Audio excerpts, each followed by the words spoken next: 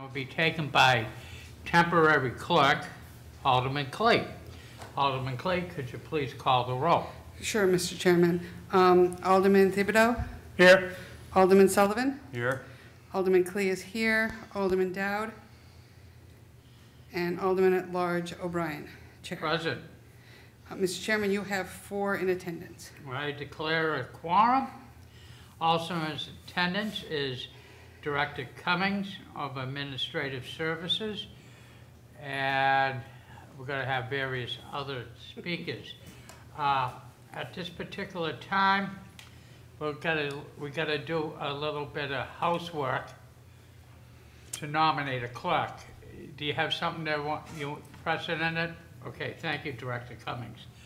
So, I will uh, entertain a motion. Alderman Klee says that she would graciously step in and become the new clerk to the uh, Infrastructure Committee. So, uh, would anybody like to perform the nomination? I'll second that. Okay, we have a motion by Alderman Sullivan to nominate Alderman Klee to serve as committee clerk for the 2024 to 2025 term. Uh, Do we have a motion to close nominations? Alderman Theobald so moves that the uh, nominations be closed.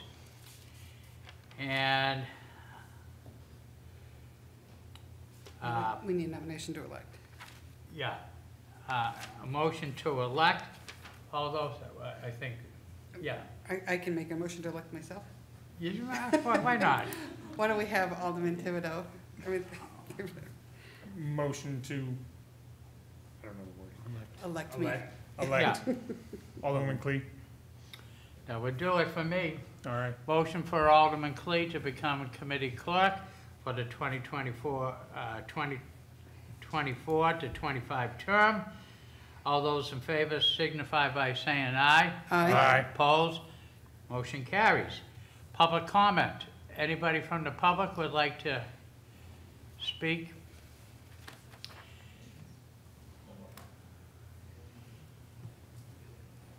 Okay. Yes, please step forward. Uh, You'll have three minutes, Alderman Klee. uh, if you Yeah, could I'm sorry, let me be so- turn that That's on. all right, we'll catch up.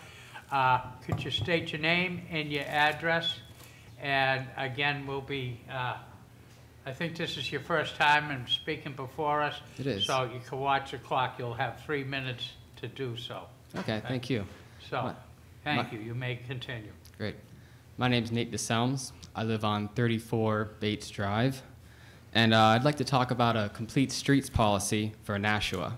Uh, complete streets are streets that accommodate people however they want to travel, if that's by foot, by bike, public transportation, or car. I'm also a part of the Nashua Strong Towns group. Uh, and complete streets are personally important to me. Um, on my road, uh, it's very wide. It's a neighborhood road, but people drive very quickly on it because it's just a really wide road. You know, no markings, no anything. And uh, I believe a complete streets, you know, approach to designing our neighborhood roads would uh, make our neighborhoods more pleasant. It would calm traffic. It would make it safer for pedestrians, bicyclists, you know, people out walking their dog, doing whatever. Uh, I also enjoy riding my bike downtown, and um, sometimes it feels like there's a lack of infrastructure. It feels a little unsafe when I'm riding around certain areas with cars around me. And also, sometimes I have trouble finding the right place to uh, lock my bike up once I get downtown. Um, so I think uh, Nashua adopting a complete streets policy would really uh, benefit, you know, the things I'm talking about. It'd be really helpful in those areas. Um, and Nashua Strong Towns has a complete streets policy ready to use for this purpose. Thank you. Thank you. Anybody else would like to? Yes, please step forward. Uh, Can you state your name and your address? And we do have a three-minute. Great, thank you. Um, David Fiore, and I live at 23 Norton Street, Ward 3, uh, Pat- uh, um, Patricia's my alderman. and uh, f- first, thank you all for your service. I realize leadership is service, and you guys do a lot of work, and we, we really appreciate it. Um, I too want to talk about the Complete Streets policy, which uh, the strong local Strong Towns group has put together. Uh, I want to just talk for a moment about Strong Towns. I don't know if any of you are familiar with the movement. It was started by a guy named Charles Marohn, who wrote a book called Strong Towns. He was a city planner, and he asked the question: Are these investments we're making in the city, do they pay off? And what he found was that um, in many cases that they, they don't. And what happens when a city is not fiscally uh, solvent is they just fail to do the job well. Now, of course, Nashua is one of the best run cities uh, in the country. This is great, but we want to make it even better. And the Strong Towns approach says uh, the downtown is the most profitable part of your city. Every dollar of investment in your downtown actually has a, a net benefit in, uh, in tax revenue if it's, if it's done properly, obviously. So um, it's a downtown first approach. And so we came up with this complete streets policy, which many municipalities in New England are, have adopted. Cambridge, Portsmouth, uh, I think Manchester has one, and, uh, and they see many positive benefits to it. My personal desire is to see a, a downtown, a main street that is walkable, bikeable, where it is pleasant to be, where you don't have cars zooming by fast. Um, not that we wouldn't allow cars through, but, but that it would be a pleasant place for pedestrians and bicyclists um, as well as cars. One of the key features that, that I would like to see out of the streets, co- complete streets policy for Nashua downtown is protected bike lanes on each side and traffic calming, which I believe will, you know, rel- I realize nothing's cheap when you're talking about the city, but it's a relatively low-cost investment that significantly enhances the livability and desirability of downtown, um, making it a much more attractive place to live. Thank you very much. Thank you, sir. Anybody else who would like to come in and join in with public comment? And, miss, the same rules apply. Please introduce yourself, name and address in a three-minute. Thank you. Welcome. Thank you. Um, my name is Marina Vaz. I live on 391 Lake Ave, Manchester, New Hampshire. I'm here tonight in my capacity as the Nashua based environmental justice advocate with the Conservation Law Foundation. I'm here to state my support for a complete streets policy in Nashua. This would shift transportation infrastructure, as other folks have explained, from its current car centric design to be inclusive of a, of a variety of modes of transportation, such as walking, cycling, using scooters, and other micromobility options, and public transit options. This policy is consistent with and conducive to many of the goals that were outlined um, in Nashua's latest master plan, such as increasing pedestrian foot traffic and micromobility miles traveled, increasing the safety of our streets for all, with pedestrians, uh, cyclists, and public transit riders uh, also taken into account of those safety considerations. Um, decreasing carbon emissions related to transportation, which is the largest contributing sector to the state's greenhouse gas emissions. Um, so, supporting a complete streets policy, I believe, is an important step in the right direction as we make changes towards becoming a city that meets transportation needs for residents of all ages, abilities, and income. It's imperative that we center folks who depend on what are considered, you know, alternative modes of transportation second to driving. Um, so I would like to ask the, the committee here to consider centering not only those means of transportation, but also the folks that rely on them, um, such as cycling, walking, public transportation throughout this process. And that is what I have. Thanks for your time. Thank you.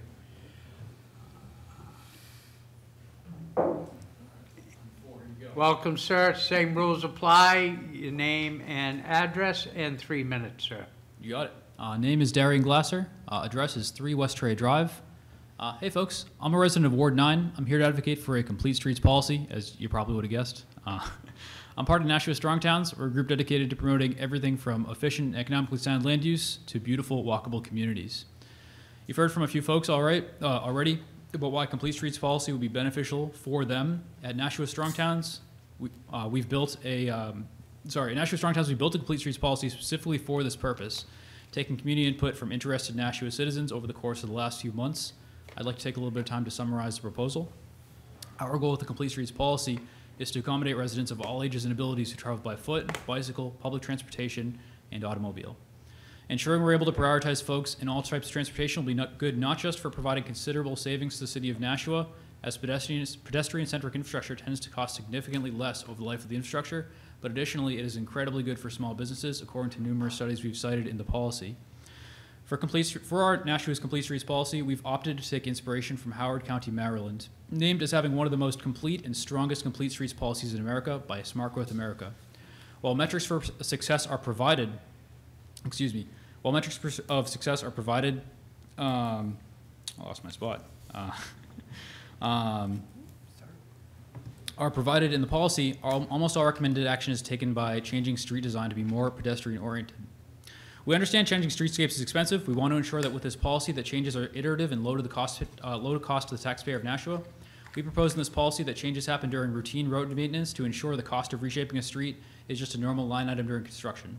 This iterative rollout ensures that if changes to the design need to be made over time, it can be done so um, as it changes the needs of the uh, city of Nashua change. In our policy proposal, we list four major street types. Um, we include a uh, propose a main street street type for higher density mixed use areas, one with one automobile one with one automobile lane going in each direction, as well as protected cycle lanes on both sides of the street with ex- extra wide sidewalks.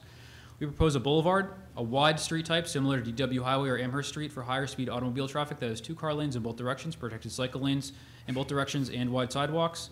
We additionally propo- um, provide proposals for both thin suburban streets, we call neighborhood yield streets, and wide suburban uh, streets, we call a neighborhood street, similar to those in both Ward 9 and Ward, uh, Ward 3 and Ward 9 respectively. For thin suburban streets, not much needs to be done. For wide suburban streets. Thirty streets, seconds. uh, we recommend providing protected cycle lanes and removal of double straight parking, uh, sorry, yellow lines in the median. Um, finally, we propose all intersections follow the National Association of City Transportation Officials Protected Intersections Design Guideline. In order for this to work, we need uh, additionally thinner uh, lanes for automobiles, 9 to 10 feet, and removal of most center turning lanes. I have two copies available of the policy here, and you can additionally you can find uh, digital copies at nashuastrongtowns.org/blog. Thank you for your time. We hope you will consider this policy proposal from the citizens of Nashua. I Thank you. time. Would you like to submit that to the clerk? I would. You can even keep the folder too if you like. I'm keeping the pen though.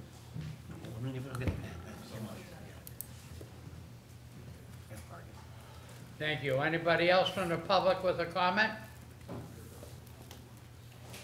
Seeing none.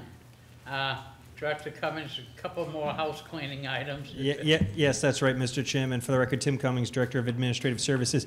Uh, Mr. Chairman, I'm going to ask that uh, you uh, actually take up uh, the parking study first this evening. That's R24007, and that we do the downtown circulation after. That's R24006. That's not how your current agenda reads. And I would also uh, encourage the, the public participants who are here this evening to stay for that presentation. I think they would find that very informative and, and interesting. But uh, again, Mr. Chairman, if we could take up R 24007 first, I'd appreciate it. Thank you. Okay, without ex- uh, exception, we will do so. Um, Communications, Sorry, just trying to get, get organized here. Sorry. None. unfinished business, There's none. and since there's no objection, we're going to take up R twenty-four zero zero seven, double oh seven, relative to the acceptance of a 2022-2023 downtown Nashua parking study for the use as guidance in planning and future decision-making. Alderman Klee, do you have a motion? Uh, Yes, Mr. Chairman, I motion to recommend approval, final passage of, of R dash twenty-four dash zero zero seven.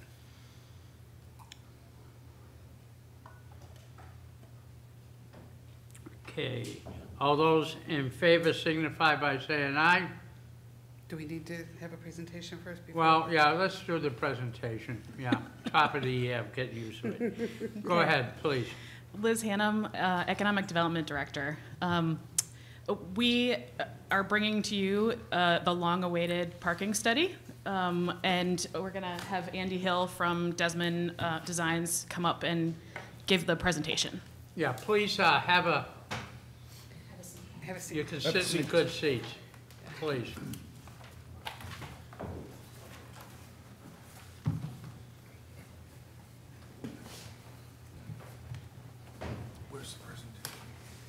Do you know how to turn on the light? Or is it down here? Oh, Yeah, it's over here. And I believe um, uh, Andy has a PowerPoint presentation. Yes. So he may need the mouse. Is it been loaded here? Yes, yep. Is it on here? no, it's in the, uh, It's the, gotta the here. Clicker. I know, but I have to load it up here. It's at That's the, up. at the bottom there, This one? PowerPoint. Oh, over here, Yep. okay. That one. So this one here, is it, Uh, This it's the one. next one, yeah. okay. Right? Um, gonna put the, here, right? Is that the one I Yep. want? Light should I get? Come on.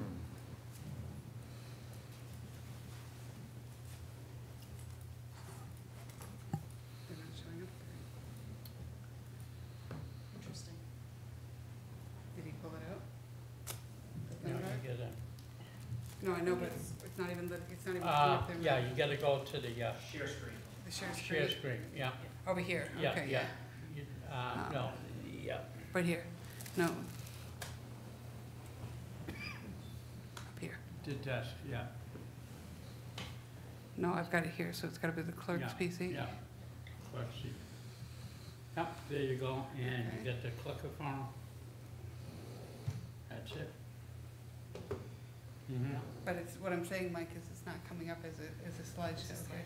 Oh, it will, Okay, he'll do that. Yeah. no, it should still come up here. It's not, Yeah, it should still. Um, maybe go to view, That's not even changing, slideshow, right? it's, it's like it's stuck, Oh, okay. It's frozen. it's frozen. Is it on this hard drive? It is. Okay. Uh, It should be on the hard drive there. It's on the hard drive, right? Yeah, it's not, oh, what's yours? All right, in- in lieu of the PowerPoint presentation, I will be reading the entire 361-page document word for word. We'll get the presentation up. started then.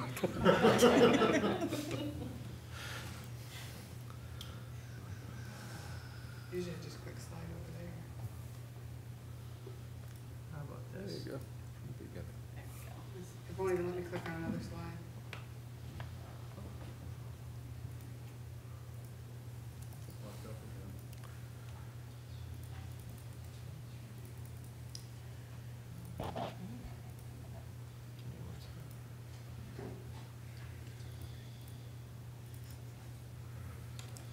Looks frozen. Unfortunately, folks, we have some uh, technical difficulties. We're going to break for a quick commercial. Uh, We'll be back extremely shortly. Uh, Stay in your seats.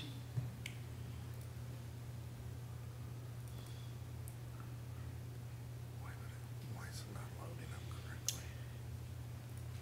I'm not sure. Can you stand there with a poster board or Oh, that used, how about the whiteboard? That used to work. yeah, it's not letting me pull up, uh, as a slideshow.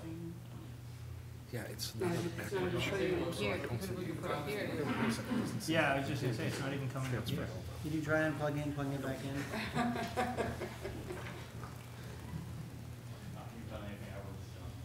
Are you gonna come in and try to? Well, I just. I know you did. I'm gonna end the slideshow. He's gonna just. So I'm gonna try this again. This time I'm gonna. Computers were supposed to make our lives easier.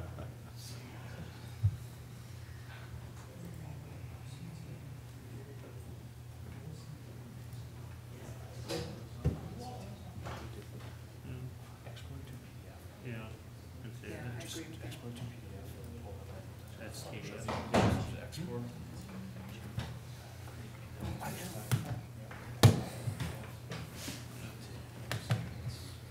Save it where? Doesn't matter.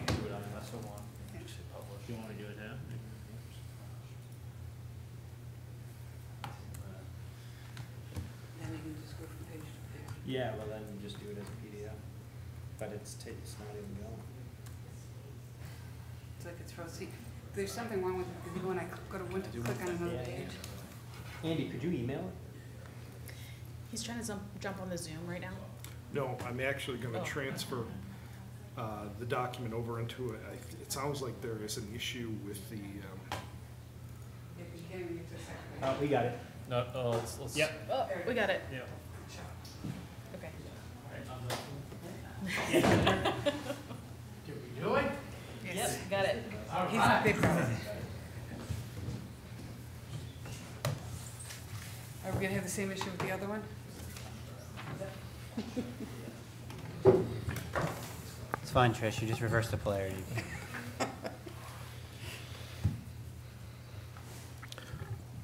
For the record, my name is Andy Hill. I'm the Director um, Consulting Services for Desman Design Management. We are um, the lead on the team that put together the parking plan. Uh, We've been working on this now since um, uh, early 2020. Um, And I'm very pleased tonight to take you through a very high-level um, review of the plan and the different recommendations. Uh, This is the third or fourth time that we've brought, uh, brought this before the, um, uh, the Board of Aldermen. Um, I am going to try and be as expeditious as possible on this, so I'm hoping that you might be able to hold your uh, questions until the end. Jill? There we go. Um, As you can see outlined on the screen, there were six initial uh, large-scale study plan objectives for this engagement. These were taken uh, almost verbatim from the original RFP, and these were uh, the framing charge that we had as we went into this engagement here. The study area itself is uh, substantial. No, I think you just shoot it to- towards that. Yeah, you have to aim right for the, not me, yeah. It's below here, It's below there. yeah. I can just hit en, if I just hit enter, will it do it? Line. If we can advance to the next slide, Oh, somebody did. I didn't oh. touch anything. or we could just break it. It's broken. Okay. Is the computer even on anymore?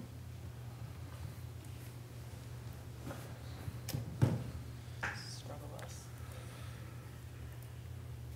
It says end of slideshow. Oh, so hit the escape button. Okay. Nothing? Yeah, it must have caught up with all the pushing. All the clicks. Let's start over again.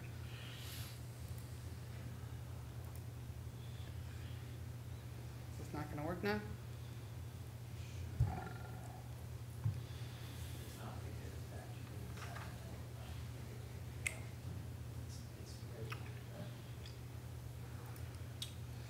Can't even see it in the middle. Why don't you just show me what you're doing so I can. There's overlapping stuff too.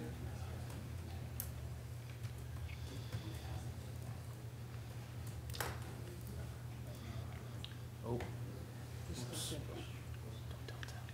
So this is the one I just created. This should work just fine. okay. So, Okay.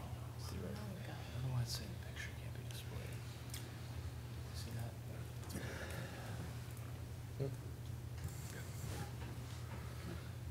Should we try? Drive. I'll just hit, just tell me Oh, when to go hit back. the. There we Bingo. go. Perfect. Got Okay. it, both ways. So the scope of this Just tell me when you want engagement me to hit it. included 108 total blocks uh, across the downtown area. We actually divided those initially into six different zones to help with the analysis. Um, There are tremendous num, uh, there are a wide variety of statistics um, associated with this area. The one that I want you to keep in your mind going forward is we counted uh, tick over 13,000 total parking spaces within the 108 block area. We did actually perform uh, field observations to establish baseline occupancy and turnover on two different dates uh, in the fall of October uh, 2021, and then we came back for uh, the Valentine's Day weekend in February of 2022. Go to the next slide, please. Major takeaways from this, um, at no point did we see overall utilization across the area exceed 50% of the supply.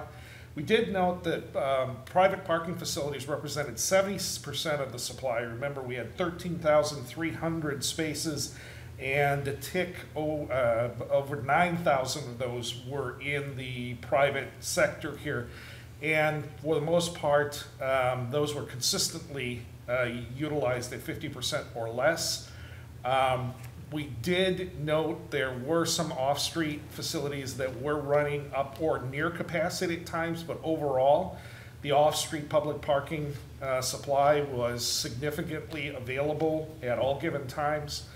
Um, we did look at the on-street supply as well, which represented the smallest portion but the largest level of utilization.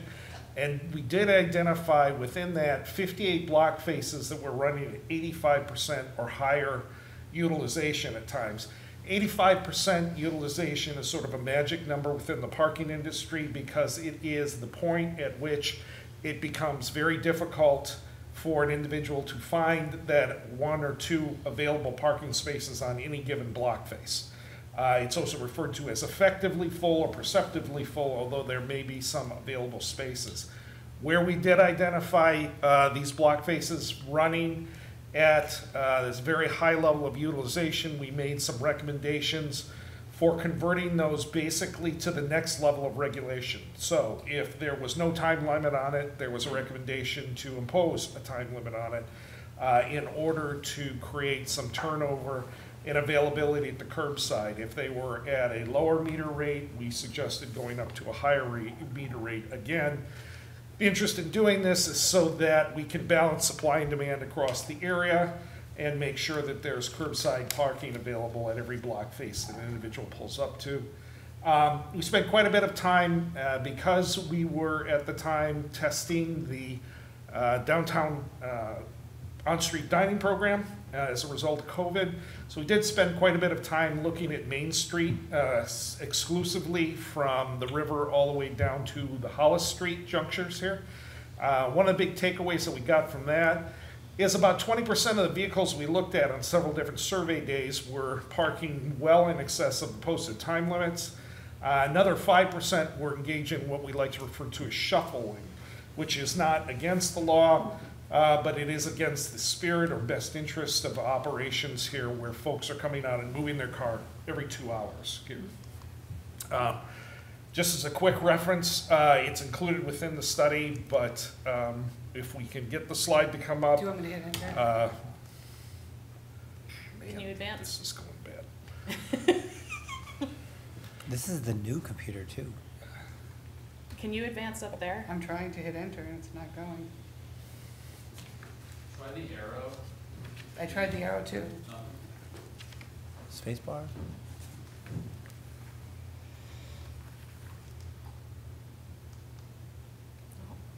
Oh, See, you gotta say please before you press the button.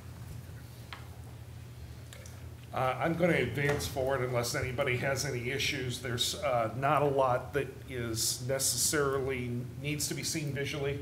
Uh, Once I get to the point where you need to be looking at particular statistics, we'll go back to the program. Uh, One of the things that we took a look at uh, was zoning on a comprehensive basis as it applies to parking. Uh, We benchmarked um, the zoning that's in place currently against 11 comparable communities. Uh, Overall, we didn't find any major issues with that. Um, When we looked at the minimum parking requirements uh, mandated by the city of Nashua versus a lot of these comparable communities, we found that they were absolutely in line and reasonable. The thing to note is that these minimum parking requirements did not apply to most of our study area, which was in the D1 and D2 districts. That area is subject to a blanket waiver and minimum parking requirements right now. Um,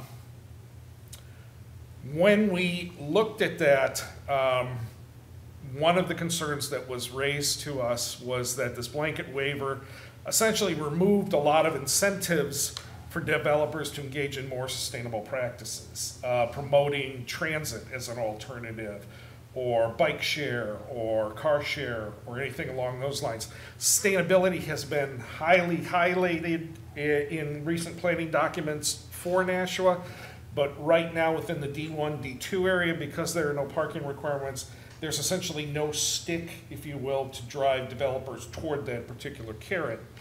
Um, and that's something important to keep in mind as you go forward here, because this is the area where you're gonna see the greatest density of development. This is the area where you would really like to see, um, folks initiating, uh, more programs to support sustainable development. But right now, with the absence of minimum parking requirements, which are- usually the stick that drives folks to the carrot of, um, introducing some of these measures to get around those parking requirements, there's no incentive right now. There's also a concern that in the long time, long term, um, it may not be fiscally sustainable for Nashua to continue to be the primary provider of parking in the D1 and D2 districts. Thus far, they've been very successful in doing that. Um, but one of the things that you will have to consider going forward as a board is what is the express mission or goal for the public parking system? If it is self-supporting and uh, self-sustainability, that may require a whole series of adjustments to policy right now uh, that will take you in one direction if uh, the interest is continuing to provide uh, parking at subsidy, then that could take a lot of your policy making in a different direction uh, going forward here. Um, we engaged in substantial amount of public engagement. Uh, we worked with a very generous 20-person working group throughout the course of this engagement. Um, met with them uh, 11 different times to work through issues, challenges, concepts, ideas, review, uh, draft working, written product as we went through this process. They were absolutely crucial uh, to the success of this engagement. In addition, we had nine different meetings with different stakeholder groups to really get their particular input, um, including uh, the downtown, um, the, the Nashua Downtown group here. Uh, we hosted two different public forums as informative uh, presentations here. One of them really highlighting what we had seen and what we thought were the initial challenges to the system. The other one uh, highlighting what particular solutions we were considering to address those challenges. Um, part of what came out of that was also uh, two online surveys that we conducted in tandem with those forums. They got about 1,100 responses back. Uh, all this is contained within the document. It's fascinating reading. The chief parking concerns that sort of came out of this entire process were really four, and this is by order of occurrence here. Number one, the thing that we heard most from folks was um, concerns about the availability of public parking either now or going into the future. Uh, right behind that, safety. Safety within the parking facility, safety on the streets moving from the parking facilities to different destinations. Uh, there was a desire to see more communication uh, with the general public with regards to not only parking options, but also transportation options going forward. And number four, uh, it won't come as a surprise to anybody sitting on this board right now, overnight parking was a consideration um, and something that uh, the general public indicated they were very interested in seeing addressed uh, at some point in the future. Um, in addition to this, we also did a comprehensive operational assessment where we looked at every aspect of how public parking is handled or managed in terms of operations uh, within the downtown. That included benchmarking um, against 11 different comparable communities, looking at a whole lot of, of different operating aspects, and as well as looking at best practices. Uh, big things I want to highlight to you folks here, sort of as takeaways. One was the financial structures that exist right now is very hard to track. It's very difficult to see where money is coming into the parking system and where it's coming out. So it's very difficult to determine whether it's truly self-supporting or whether it's being substantially subsidized. Our recommendation was to look at moving that financial structure over to an enterprise fund, uh, which would consolidate those revenues and expenses in one place, uh, which would give you a better uh, shot at transparency as well as sustainability where the public parking system was concerned. Um, we also found that the parking department needed to do some homework with the Board of Aldermen there needed to be a consensus as to what the public parking system was supposed to do in the future. Um, For example, there are communities who stated the number one objective for their public parking is that it's to be fiscally self-sustaining. There are others that have indicated that the number one job of the public parking system is to handle parking needs so that downtown development can move forward here. There are very few places where both of those can be done at the same time. Um, So, um, one of the things that needs to happen as the Board of Aldermen moves forward with this plan is to really work with the parking department and the general public to figure out what they really need their parking system to do, and then start doing a lot of the formation, and development of policies to support that central guiding mission here.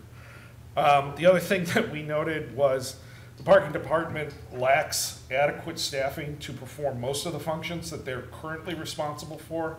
We didn't necessarily look at if growth occurs in the downtown of the future, how many more people you're going to need to handle these functions.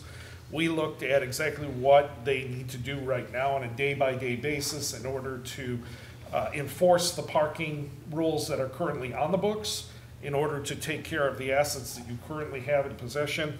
And what we found kind of consistently is that there literally were not enough physical bodies in order to accommodate uh, what the parking department has to do on a given day. And so there are some recommendations for addressing that through strategic hiring going forward in the future.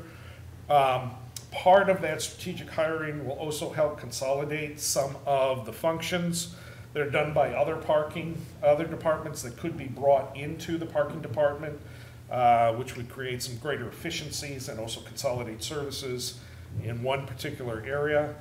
Um, As the assessment that was done about the same time we're doing our study on the physical condition of the parking garages so- showed, there's a significant amount of deferred maintenance with the parking assets that you have currently in place. Uh, One of the ways that you can address that, as it's going to be a perpetual issue in the future, is the establishment of a sinking fund.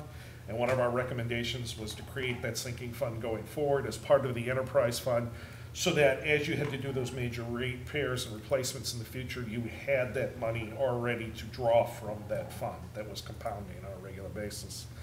Um, we identified a lot of different places where you could improve service, you could improve security, you could reduce overhead by introducing different types of technology um, that would help the public parking system uh, both do things more efficiently and also um, free up their people for higher and better uses and deliver better services to the constituency as well.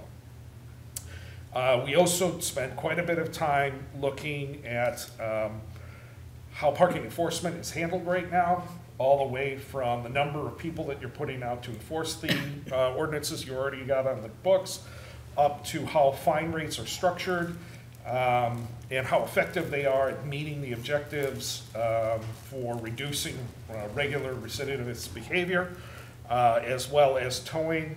Uh, We also took a look at the parking rates that are currently in place right now, some of which haven't been adjusted in 20 years. We looked at them relative to the peer institutions, but then we also looked at them for their general intent. Are they creating turnover uh, that you're hoping for and availability to curb?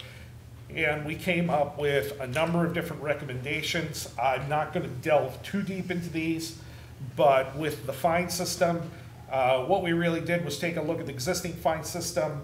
Uh, We looked at it relative to comparable rates in the other communities, and we also looked at the structure of it here. One of the things that is on the books right now is policies to prevent repeat offenses over and over again, but the way the ordinances are written right now, it's very difficult to figure out what constitutes a repeat event, uh, offense, other than the same person doing the same thing five or six times right in a row. Um, this restructuring of the fine structure here uh, allows for better enforcement on that, and it also allows for a um, more logical structure for the general constituent, so they can understand why uh, some fines are significantly higher than others because they represent uh, life safety issues or issues to the general public. Some fines are significantly lower. Um, the hope was that uh, these fine structures would be low enough to be affordable, um, but high enough to um, prevent uh, regular repeat um, instances of, of that behavior. Uh, Similarly, on the rates that you've got currently in place, on the transients or meter rates that are currently in place, we did make a lot of recommendations for change. There were some small adjustments uh, that were several years out of date in order to generate enough um, turnover uh, to achieve where downtown is right now in its evolution. Um, We also had made some recommendations for adjusting both hours of enforcement. Uh, When the last set of rate structures was put in place, downtown was primarily an office and daytime destination. Now with the opening of uh, the new performance center downtown, as well as the um, number of residences that are coming in, some of the changes to uh, the street level uh, commercial spaces, it's definitely becoming uh, more of a nighttime destination. And right now, the parking enforcement hours don't necessarily reflect that. Uh, So we had made some recommendations for changing that. Uh, We had also made some recommendations for revising the permit program primarily to recognize uh, that there was, um, there needed to be greater choice available to consumers here as to where they parked, uh, how much parking they wanted to buy. Right now, the current system uh, that's in place is sort of a one-size-fits-all. Um, And as your downtown continues to evolve and grow, you're going to find that um, some folks want the cheapest parking they can find, and they want it only during weekdays or only on the overnight. Some folks want 24/7 access everywhere they can go. So we tried to create a program that would provide that kind of choice for constituents moving forward, uh, and also bring the rates up to a level that's more comparable to the communities that are around you. Next slide, please. Looks like we're back on track, Maybe. More or less. We are. I Um, just keep going out, coming back in. Or not. Um, Just keep we going back in and going out, yes. We also did a future needs assessment, um, which really looked at all the development that was planned or projected coming into the downtown in the future over the next ten years. Uh, we organized, we created a demand model specific to Nashua, uh, based on Urban Land Institute and Institute of Transportation Engineer methodology and then use that to project uh, demand going forward, really under one of three general he- headings. Uh, Near term, which is anything from zero to four years. This is stuff that's either already in construction or was already in construction when we started the project, uh, or stuff that's anticipated to start construction in the very near term, or vacant space that we assume to be absorbed at some point over this term. Uh, Midterm, uh, really dealt with a lot of projects that were in concept plan yet, but hadn't necessarily filed plans for actual development, uh, as well as Southern New Hampshire Medical Center's master plan. They were kind enough to share that with us. Uh, we factored that into the midterm scenarios as well. And then with the long-term scenarios, that was stuff that was eight to 10 years out, that was more of a bigger uh, planning initiative covered in some of the other documents that we looked at. We wanted to represent the impacts of that without necessarily knowing the specifics on those developments, so we made some uh, assumptions as to what those land uses would be. In each case, we provided a snapshot on what the impacts of those developments would do to the area on a weekday, a weekday evening, a weekend, and a week, weekday evening. And when we looked at this, um, impacts, we looked at them as cumulative. So, um, we took a look at near term and then we assumed that midterm included everything that happened in near term plus the additional development. Uh, and then we looked at long term, it was including everything in near term, midterm, plus the long term development as well. Um, and we assumed no corrective actions. This was not necessarily because we believe the city of Nashua would take no corrective actions, but to give them an order of magnitude for where the potential shortfalls uh, were likely to occur in the future, um, because that really would help inform um, what they may want to do from a future development standpoint as far as augmenting the existing supply, where that should go. Uh, We covered uh, that in, in great detail within the document, again, including a presentation of 10 different uh, physical alternatives for adding additional supply. I'm not going to go delve into that right now. In terms of the big takeaways from that, what really came away from that is at some point in the midterm, we are going to need to introduce a new parking supply somewhere at the north end of Main Street up by the river, and somewhere at the south end of Main Street down by Hollis Street. And there are a number of different locations for addressing that. All of those are contained within the analysis. Um, But uh, regardless of everything else that the city of Nashua might do going forward, um, it is fairly apparent that at some point, uh, you will have to introduce some additional supply, um, probably as a public asset or a public-private venture, and again, at those two ends of town. Um, Can we bring up the slide that says parking planning organization principles, because this I is, can try. this is a critical one. This is one of the ones We're gonna go back in, yes. Yeah, okay, we'll do it again this way. Which, what's it called, the parking? Parking planning organization This one? principles. So this one is important. I want to take a little time on this because this really formed the basis for us starting to develop the implementation plan.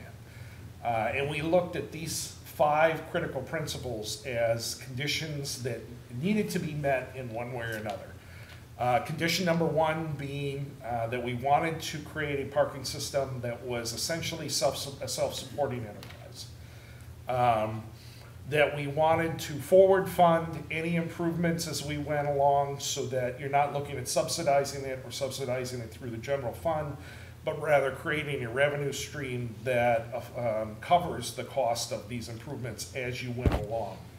Um, we wanted to make sure that we had staffed and equipped the parking department adequately so that they could actually continue to deliver and improve on the services that they're already required to provide. Um, wherever we could, we wanted to seek out opportunities to promote sustainable practices. Uh, and we wanted to make sure that the parking system continued to meet its uh, goal of supporting continued growth in downtown. So what we did is we put together a five-year plan.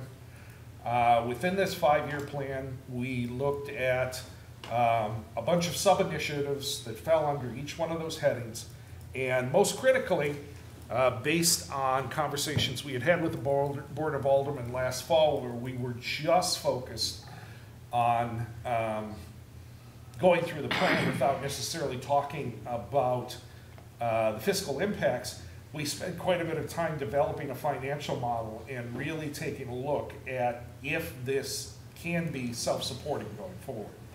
Uh, and I know that this is very small, um, and this is uh, your first time seeing this, in part because it is conceptual. I'm sure that at some point in the future, as we refine this model a little bit further, uh, I will be either handing this off to John Griffin in the parking department or coming back before you to take you through a very detailed set of projections on how that model plays out. But long story short, um, he- we're already in year one fiscal 2024, so some of these initiatives are already in place or in play moving forward. And if uh, all of these initiatives go through as currently planned, uh, you are looking at a parking system that can meet its requirements, but with very little um, net cash flow. I believe at the end of the year, if everything falls right, after uh, they've met all of their operating expenses and the, and the commitment to donate to the downtown improvement fund, um, you've got about eighteen thousand dollars left at the end of the day. So it is sustainable, but it's certainly not a profit generator by any means. Um, as we looked forward to the following year, there was um, an even greater number of initiatives that were coming through. Uh, again, if you remember, one of the things we said was that we wanted to for- forward fund all, any of our improvements. So in year one, uh, any improvements were covered with the existing budget. In year two, uh, we tried to forward fund that by um, making adjustments to some of the different permit rates and meter rates here in order to uh, create that revenue stream necessary to cover the cost of uh, the staff and materials that we're gonna have to be handing, bringing on in order to perform the work that the parking system does. Uh, This scenario or this concept also includes um, scheduled contributions back to offset uh, debt service on the system. I know that the improvements to the two garages are gonna be about an eight million dollar price tag and, or much higher than that. And so, uh, what we wanted to do was factor in what the fund could contribute back to help offset that, as well as the establishment of the sinking fund for major repair and replacement going out, uh, going forward. And then, um, the plan is also to increase, um, on a regular basis, the contribution of the downtown improvement fund so that they can continue uh, to do their good work. This is in sort of the core of best practices for downtown parking systems and that states some of the money that is brought in from parking operations should be reinvested into the community, either in beautification, events, or something along those lines. In this case, the mechanism for that is a downtown improvement fund. Uh, Under best case scenario, with all of those adjustments, uh, we are looking at a, um, we are looking at a positive NOI and after contributions uh, to the debt service, uh, debt service fund of about hundred and fifty thousand, contributions to sinking fund of about hundred and downtown improvement fund of hundred and thirty-five, which is up about ten thousand dollars from the prior year.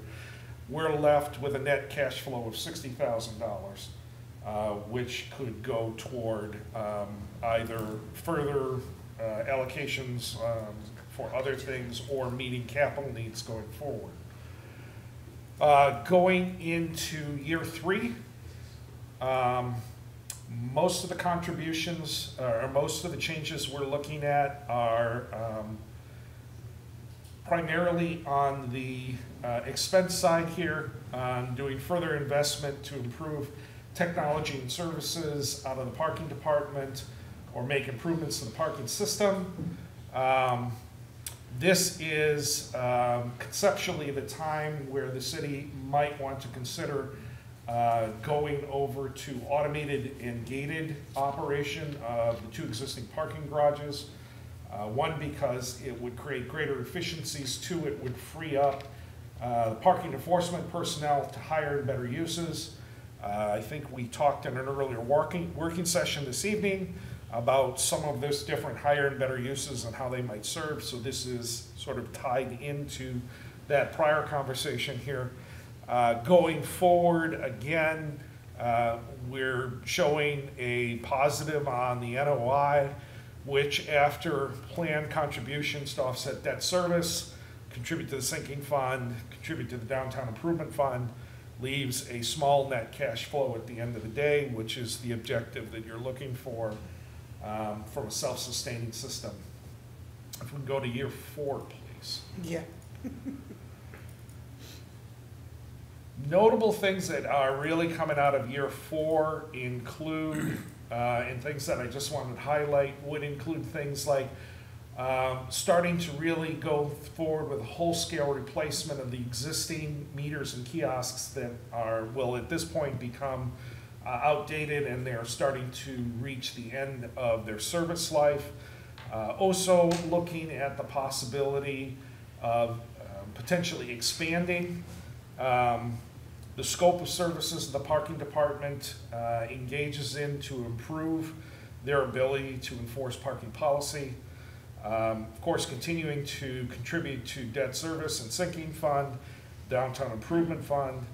Um, Really starting to look in terms of bringing in EV, uh, electrical vehicle charging infrastructure into the public lots and garages. This is anticipated to be the year uh, where the electric vehicle fleet in private ownership could well uh, meet or exceed 15% of the total rolling stock. So this is a good time to start thinking about turning your parking garages and parking lots into filling stations as, as well as parking facilities. Um, and then also looking at possibly making some of the recommended changes to uh, zoning.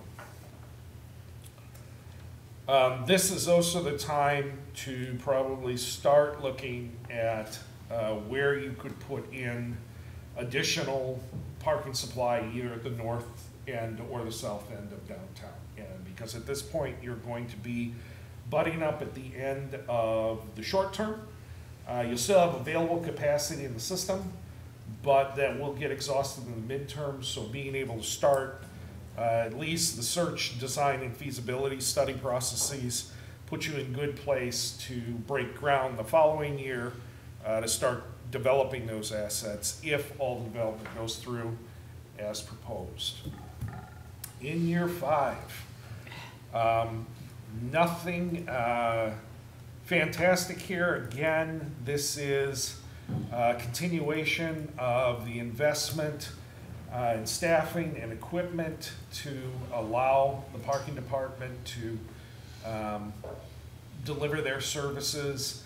Uh, One of the things that um, we would hope had occurred at this point was um, a final and very clear definition for the mission for the parking department and also preparation and circulation of an annual report from the parking department to go out not only to the Board of Aldermen, but the general public as well, to provide that transparency and let them know all of the things that their uh, parking dollars are actually doing or realized uh, back in the community as benefit.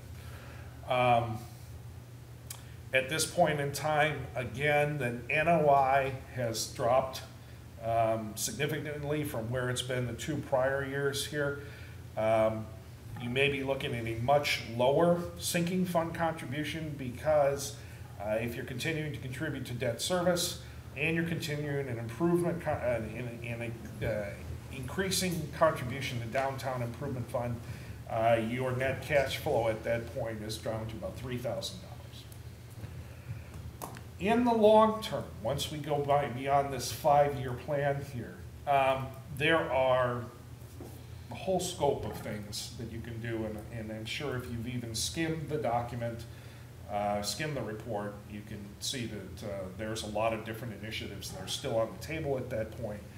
Um, these run the gamut, could be anything from creating new parking structures, uh, looking at further investments in technology that would actually give people real-time information on parking availability within the public parking system, or would help augment wayfinding. So as folks came into town, they could literally find, follow um, signs that would take them directly to the first available parking space and some of the different assets. Um, Looking at creating a uh, service center for the parking department where people could actually walk in and ask questions, do things uh, face to face. It's happening right now on an informal basis, but we would potentially be at the place where we could start doing that on a very formal and fixed basis. Um, Certainly looking at amping up the communications programming, uh, so the general public is aware of what their parking and transportation options are moving forward. Uh, Potentially looking at developing a public-private facility, um, continuing to improve security um, in the facilities through both active and passive measures, uh, and continuing and expanding contributions to the sinking and downtown improvement funds. Now, that's all great. The one thing or one caveat that I want to leave this Board of Aldermen with is because of the commitment to forward funding, as you start to look at this stuff at this point in time, um, you're going to have to also look at the income stream within the parking system and probably make some decisions as to whether or not that needs augmentation in order to support some of these initiatives moving forward. So you've got one rate adjustment, which is well overdue at this point and necessary just to allow uh, the, the, the rates to do uh, what they're supposed to do in terms of behavior modification and influencing. You may be at some point looking at a future rate adjustment uh, in order to continue to meet the requirements of the system being self-sustaining forward funding.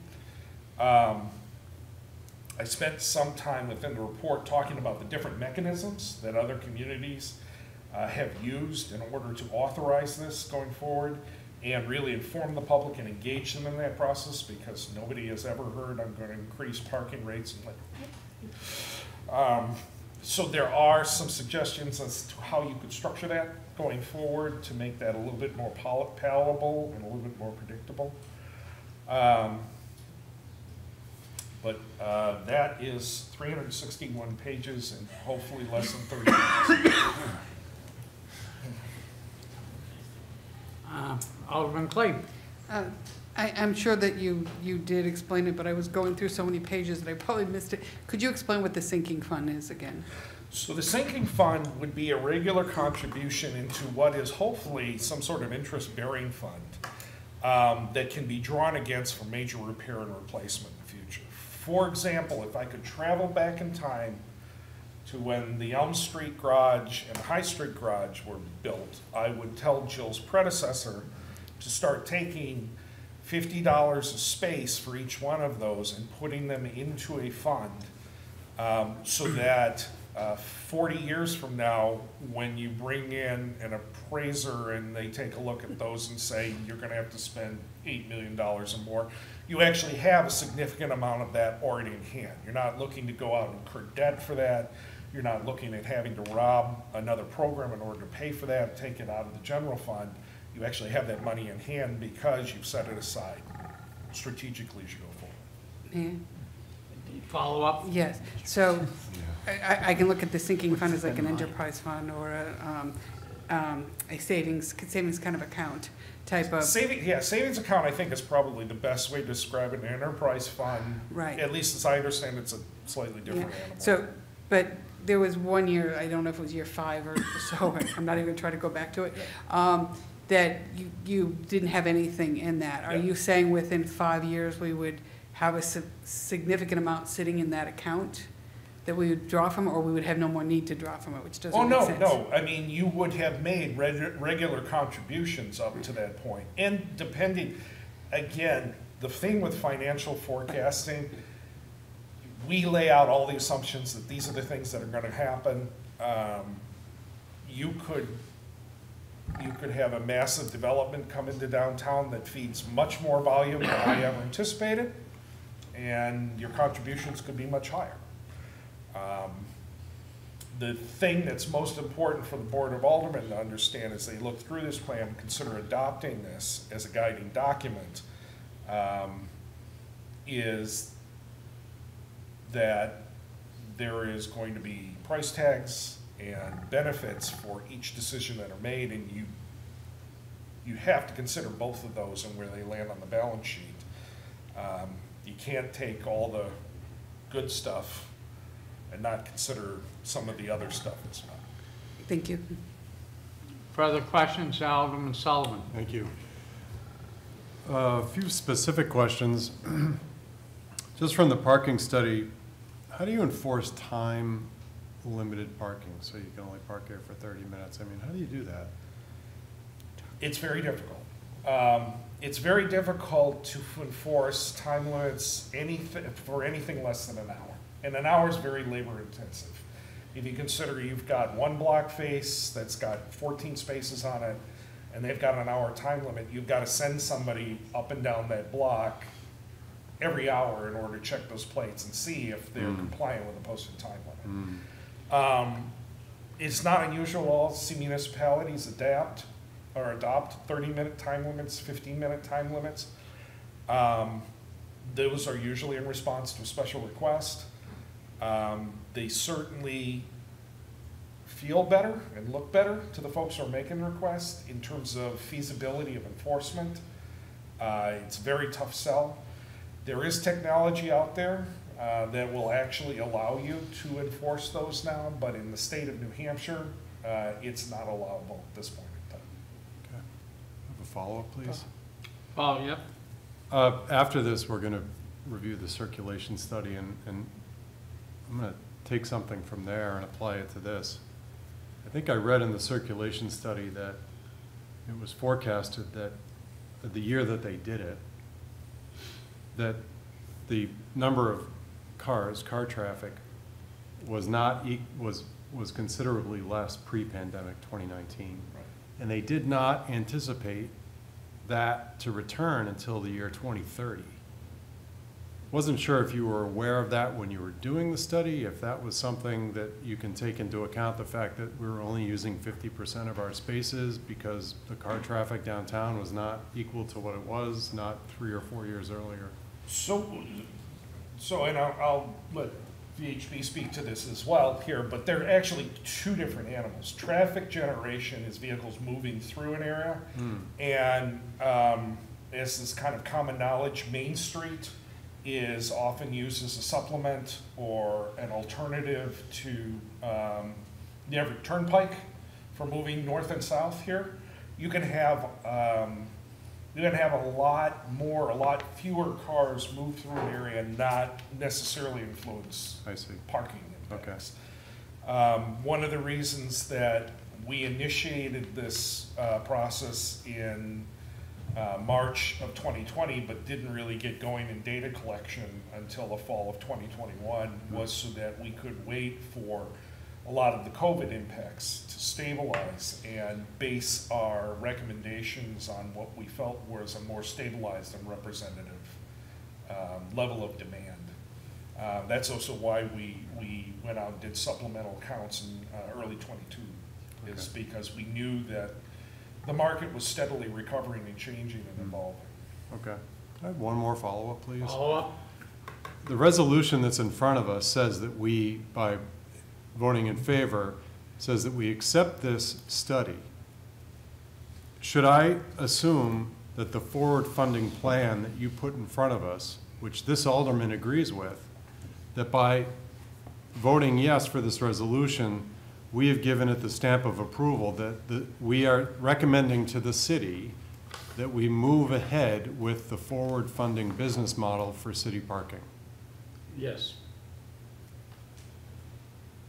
Okay. Director Cummings, do you have anything to?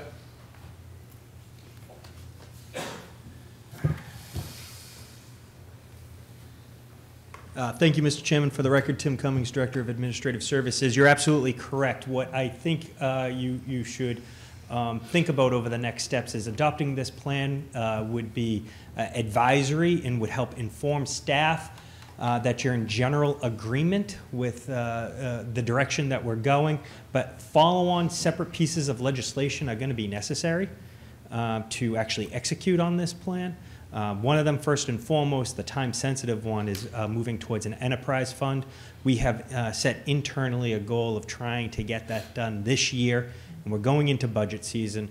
That would be the first piece of legislation that would come before you, um, and we want to make sure that we're moving in the appropriate direction. So uh, uh, Alderman Sullivan, hopefully I'm answering your question. Sure. Um, But it's going to be three to five, could be more than five, separate pieces of legislation as we look to uh, amend and tweak and adopt the various ordinances on our books to conform with the, uh, the comprehensive plan that you saw this evening. Follow up? Sorry. But uh, Director Cummings, that is, those are kind of bigger pieces of legislation, not the minute uh, changes in city code that we need to make for our, for the parking that, that the city, that the study outlines. I mean, there were several in there. That, that's not what you're talking about It, there. it goes hand in glove, so some of the more minute measures will be bundled into larger pieces of Okay. legislation that will tackle whole chunks. Okay. Operations, revenue, expenses, you know, three big buckets. Uh, how we regulate, uh, enforcement. Uh, those would be the types of, uh, moving vehicles, the parliamentary moving vehicle, the piece of legislation that may, you know, have itemized four or five items within that one piece of legislation. Okay, thanks. Further questions, members of the board? Seeing none, oh, Alderman Clegg. Uh, Thank you. Um, Actually, Director Cummings, don't- don't necessarily sit down. I, I just have a, a quick question. Um, um, Adding on to what uh, um, Alderman Sullivan uh, had said. So the, um, the recommendations of the fees and so on that we, we saw here, they would go as, as is, or is that the tweaking that you were talking about? um, So, so. Of increasing it even more, or, not that, not that we would, but I'm just, So right now, this would be, this is like non-binding, just guidance to us. Um, Separate piece of legislation would be necessary. We would use this document as a guideline for developing that piece of legislation. That separate piece of legislation uh, would be laid before you, and you could, you know, act upon it as you wish. Um, That would be for the increasing of fines, meter rates, whatever the case may be. But everything is, is interconnected because um, you need to raise the rates to be able to have a self-sustaining enterprise fund. So the, the enterprise fund may be a separate piece of legislation, um, But I would recommend that you, you understand and know in totality what the revenue and the expenses are, because the, the creation of the enterprise fund is really the framework for uh, executing on the type of parking service the city would like. Thank, thank you. May, may I just make a comment? Quick comment, please. Yes, yeah. Um, no, I, I, I'm complete, completely agree with, with all of, of, all of this. Um, I just didn't know if, by agreeing to this, because it did say guidance, if our hands were tied to the exact wordage that was in there. Um, I, I am all for this. I'm, give it a big thumbs up, so, um, that, that wasn't my question. I just really wanted to know if our hands were tied to it, but each piece will come and we can tweak it as necessary. Thank you. Further questions, members of the committee? Seeing none, I'll call for a vote. All those are in favor signify by saying aye. Aye. Aye. Opposed? Motion carries. And if we can, one more, I see in the wings, we have Mr. Dan uh, Hudson, city engineer, so I think this will be relatively quick. So if, uh, without his exemption, uh, exception, we'll have, uh, Twenty-four oh Yeah. nine? yeah. Mr. uh, Hudson, are you? Do you want me to make the motion first? Yes, Yeah, if have he's, yeah, put there he is. Okay, could you make the motion, please? Yes. Um, I motion to recommend approval of R twenty-four 9 authorizing release of certain stormwater easements and restrictions. Okay, uh, Mr. Hudson, you want to give us a brief explanation? Sure. Uh, For the record, Dan Hudson, city engineer. Um, So when Bronstein, the former Bronstein development was redeveloped, um, some of the stormwater treatment measures were changed. Uh, Developments in Nashua need to comply with the stormwater ordinances, which require kind of a blanket easement over the property, uh, which say that the owners of the development will uh, maintain their devices, um, and, and uh, that sort of thing. Also enables the city, should there be uh, issues with any discharges uh, that would put us in jeopardy for our MS4 permit, that we can uh, come onto the property and assess those, that sort of thing. This proposed um, change is basically taking the previous um, stormwater documents and replacing them with new ones because the development has been reconfigured, um, and the document should reflect the current configuration and ownership. Be happy. Okay, discussion? Seeing none, I'll call for a vote. All those in favor signify by saying aye. Aye. Opposed? Motion carries. Thank you. And now, could the clerk then go back to the regular agenda, please? Uh, Mr. Chairman, I motion to recommend approval for R twenty-four 6 relative to the acceptance of twenty twenty-two twenty twenty-three downtown Nashua circulation study for use as guidance in planning and future decision-making. Okay, Uh, Director Cummings, could you give us an overview, please? Yes, uh, Mr. Chairman, I actually have a PowerPoint, and if I may approach, uh, I'd like to join you this evening. I have uh, Director Sullivan with me and our consultant from VHB, Please Chris. invite them up, and uh, actually, we might have you run the show, because Do it I- seems like our PowerPoint's Do on I have strike. the, do I have the PowerPoint here? Uh, I think Director Sullivan told me he turned it off, so I think I need to reload it. I'll take, I'll take a look right now.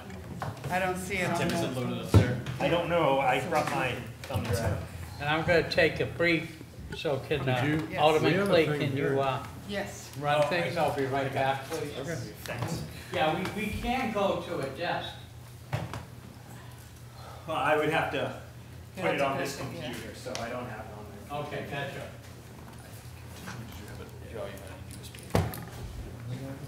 Yeah, just put it in. Put it on the desktop And if you can. yeah. That way if I have to go back and look at it again. Well, I'm just leaving the slides. The problem was it kept freezing.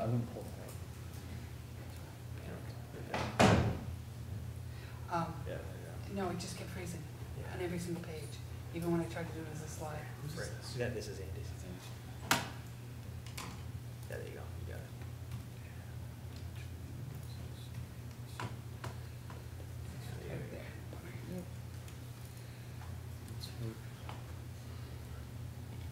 Go up to the slide. and show it. actually just, let me do some. Are you gonna export your- Word recess, right? Yeah. Well, Mike told me to start running it, but we'll do this first. It'd be nice just put it on PDF, yeah. If you have issues, let's do them PowerPoint if we have issues. Yeah. Okay. That sound good?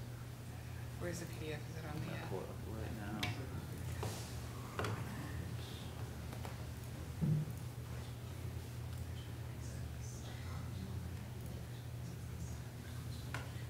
okay, good.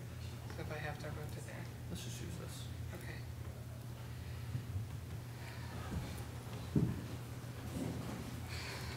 Yeah,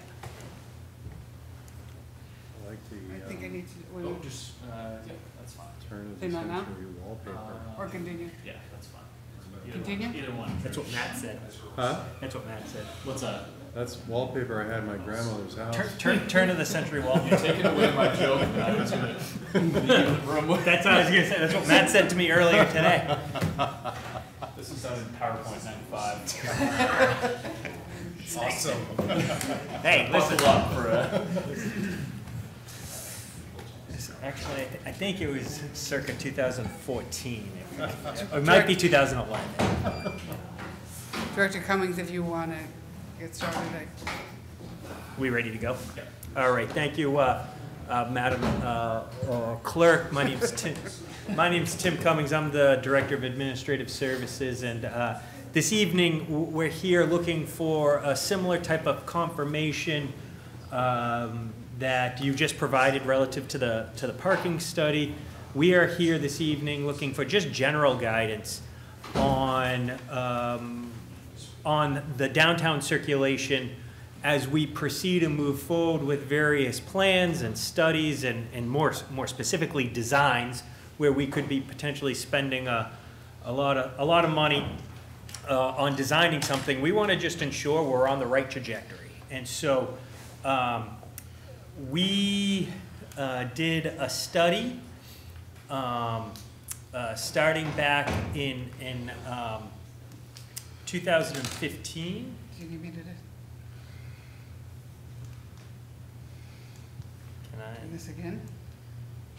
is it doing it? No, nothing.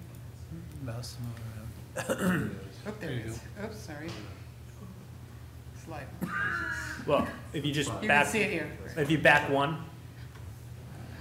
Yeah, there we go. So that was, the- that was a downtown circulation study done by VHB. Chris, our consultant from VHB is here with us this evening if any specific questions arise. Um, But, uh, uh, next slide. Uh, It was um, started in earnest, actually, in 2011, and uh, really got going in 2013. It all centered around uh, the Broad Street Parkway, now known as the Veterans Memorial Parkway, and then the idea of how we were going to connect or link the volume of traffic that was west of downtown into the downtown and ensure that we had an orderly flow of traffic. And so uh, we, we, we had a big study effort that occurred in 2014, uh, and then ultimately the report that I just referenced a second ago developed in, in 2015 uh, timeframe. So during that time, um, there was some, some main directives or guidance that, that was given. And so the downtown circulation study was intended and associated goals to identify potential strategies to improve roadway and intersection traffic flow with regards to mobility in the downtown area, strengthen pedestrian, bicycle, transit connections, you know, essentially ensure that we have mul- multimodal type of, type of mindset, and then enhance the accessibility for, for residents and businesses. And again, ensuring that we have that east to west type of connectivity. And so, um, uh, the next slide, the next uh, slides will essentially outline the major takeaways that came about in the 2015 uh, uh, study. One, the Walnut Street Oval, and ensuring that that Walnut Street Oval was, was converted in a way that was more pedestrian friendly. Water Street. The idea of Water Street was to make it more pedestrian friendly um, and try to entice development in and around the riverfront. Factory Street, looking to, to repurpose Factory Street to be pedestrian friendly, uh, but then also maybe potentially making it uh, two-way traffic flow. West Pearl Street, again, making it two-way traffic flow, uh, but essentially uh, trying to create the connectivity from the west down what was the Broad Street Parkway on and through into the downtown area and continuing on through into Hudson. And then Spring Street, the idea of making Spring Street uh, two-way co- connectivity. Next slide. Temple Street and East Pearl Street, again, making that two-way uh, type of, uh, type of flow. Uh, And this would be the counter uh, balance to the reversal of West Pearl Street. If the traffic wasn't going to go down East Pearl Street, it would be, uh, uh, to the west, it would be shifted to Factory Street. Then there was some smaller elements that were also uh, contemplated in the study. Court Street and Park Street, reconfiguring those streets to, uh, again, accommodate more of a flow and, and to try to disperse traffic uh, more, more easily through, through the downtown. And then uh, the concept of implementing concurrent and leading pedestrian intervals. And so this is a concept where um, to gain more capacity if necessary in your throughput of traffic flow, you might be able to change the way you're uh, uh, having pedestrians cross the street. Um, something that we haven't instituted yet here in the city of Nashua, but it is something that uh, was, was studied and recommended in the 2015 study. So in 2015, we took a lot of what was said and we started to, uh, can you go back? Uh, there you go. So we started to, to implement a lot of what was suggested, a lot, a lot of what was articulated, um, but we didn't um, uh, proceed to one have actually this type of conversation where we got a policy document, uh, you know, uh, instituted to give us clear direction. Um, but also we wanted to update the study to discuss what we had more recently contemplated in 2019, 2020 timeframe, which was having West Pearl Street and then more Factory Street be one-way reversals. And so in VHB in 2019 uh, reviewed the, the, the work that was done in 2015 and, and came back and preliminarily said, yes, it works. You could uh, reverse West Pearl Street to be one way, going in the opposite direction. You could then look to reverse Temple Street or Factory Street to be the counterweight to that and have that continue on up through the, the Walnut Street Oval uh, and then on to um, uh, eventually the, Bar- the Broad Street Parkway via, via Central Street. Um, so um, we, since that time, started to look at Main Street a little differently. And uh, COVID 19 hit, and then we started to reduce our Main Street for various reasons. Uh, to ma- mainly entertain and uh, execute a lot of what we've heard even earlier this evening about accommodating multimodal, uh, pedestrian-friendly streetscapes. And so we did that as a temporary measure um, in, in, you know, in the most recent years, but the study that was done in 2015 didn't necessarily contemplate that. So um, particularly um, uh, Engineer Hudson, who's with us this evening, participating via Zoom, and Director Sullivan, uh, under their guidance, they said that they wanted to take a step back, make sure we were taking a holistic approach. When we, we do our due diligence, ensure we're acting in good, good order for the city. And so they reached out to VHB and they asked VHB to uh, update the study again with the new variable being in, integrated that uh, if the city so chose, and that is not the conversation we need to have this evening, uh, but it is something we want to ensure that we had good data on, which is if we were to permanently reduce um, uh, the capacity of Main Street by instituting some of the um, uh, multimodal concepts that uh, are in our Imagine Nashua master plan, we wanted to ensure that we had the, uh, the data behind uh, us to, to make some uh, observations and ultimately some recommendations to this body and to other bodies should this um, community decide to endeavor in that direction. So that was what was studied most recently. And so, um, as you can see, we have some elements of design underway, and we are actually getting ready to go to construction on some other projects like um, uh, Water Street, um, West Pearl Street, Factory Street. Um, Walnut Street Oval is a little less, uh, not as far uh, in their design, and they've just started with the Walnut Street Oval conversion. We haven't even discussed or touched Spring Street or some of these other elements, and we thought it was a good time to come before you to basically reassess.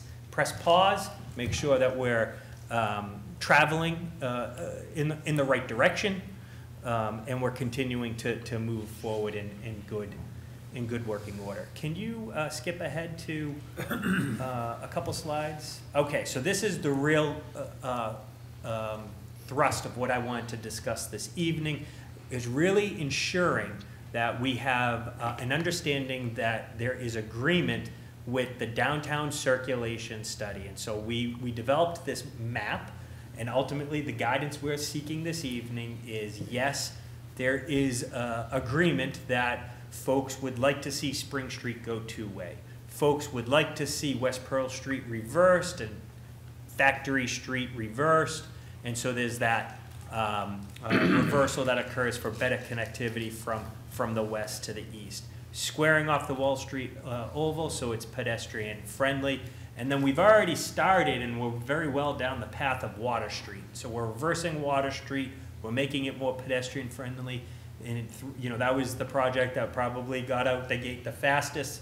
And uh, we're going to go under construction with that in the spring, and that was all necessitated with the riverfront plan. So, um, out of all the slides this evening that you're seeing, this is the one slide that I ask that you, you, you really hone in on and that you, you kind of take away this evening is focusing on this slide because it is the most important.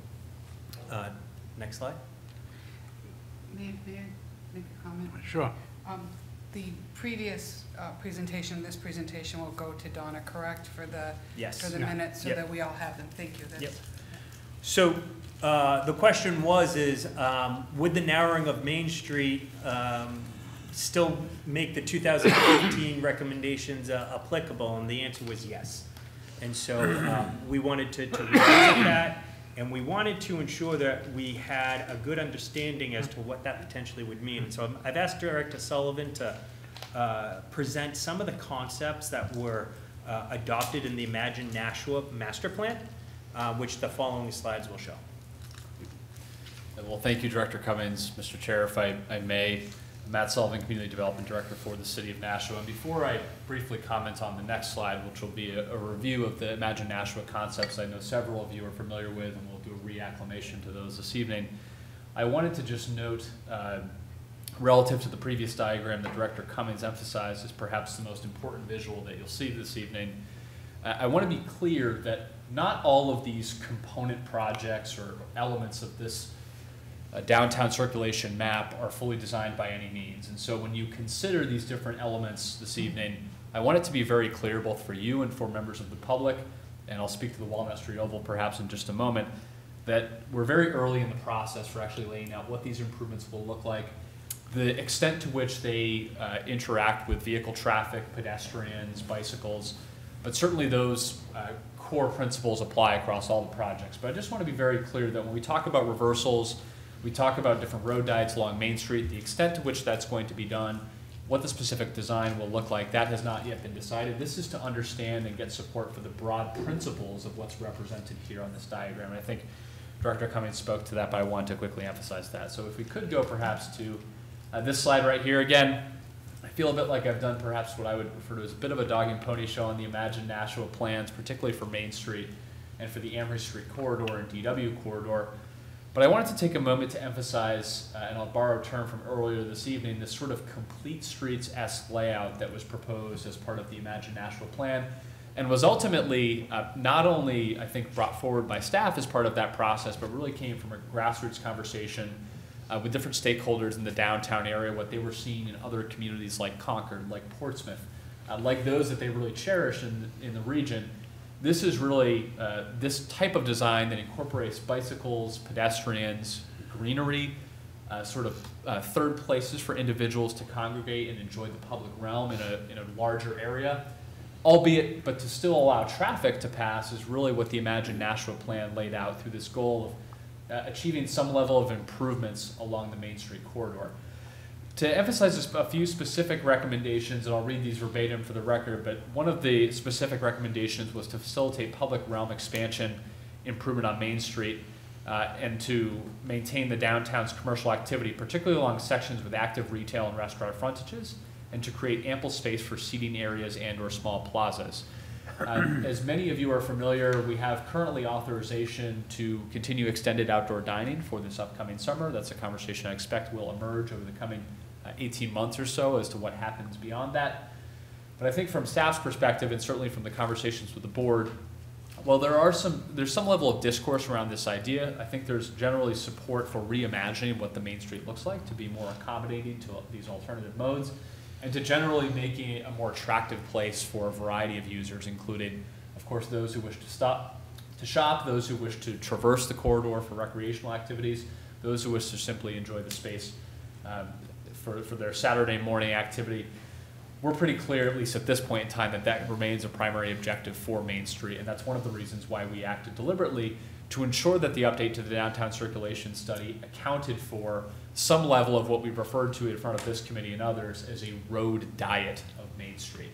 Uh, so that's the concept that we've tried to move forward with the downtown circulation update, and we'll certainly be bringing forward to you as part of uh, additional conversations in the future.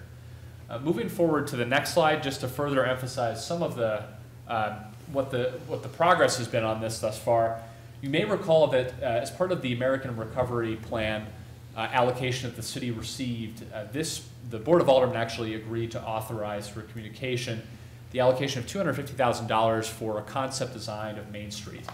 Um, we're in the process of working through how exactly to go about uh, leading that redesign, but one thing has been done as an interim measure led by engineer Hudson, the team at the uh, Division of Public Works, and that is to actually develop uh, a few multimodal concepts for the downtown area that reflect the principles of the Imagine Nashua Master Plan but are actually more reflective of the on-the-ground conditions that we have along Main Street. And so I'm not going to go through these in detail uh, this evening, but perhaps uh, if the clerk would maybe just flip through the next few slides. I want to show you a variety of concepts here, and the colors are a bit difficult to read in the bottom left-hand corner, but showing different proposed layouts of uh, dedicated bike lanes, sidewalks, dining areas, parking reconfiguration potentially that may occur with Main Street, and certainly the traveled way. And I know there's been a lot of discussion about the narrowing of the travel way, and we'll talk a little bit about that in just a few minutes here. But all of these concepts reflect all these concepts reflect some reconfiguration of that center traveled way, uh, and nearly all of them reflect uh, conversion of two lanes in each direction down to one lane, albeit with a center turning lane or some alternative. And so we bring this, uh, we brought this up as, as part of this conversation, simply to say that we are advancing that concept and it only uh, emphasizes the criticality of, of uh, accounting for that Main Street road diet in some form as part of the circulation update that was undertaken over the last year. Lastly, I'll just close with two comments from the Imagine Nashua plan that I think reiterate the criticality of, of this work in the downtown along Main Street.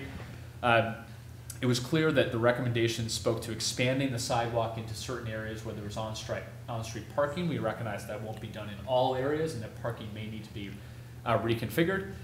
But also it was clear that there may need to be a need to shrink or remove existing lanes in order to accommodate some of this preferred design. Again, we have not done full design of the corridor. I don't want to represent that in any way, shape, or form.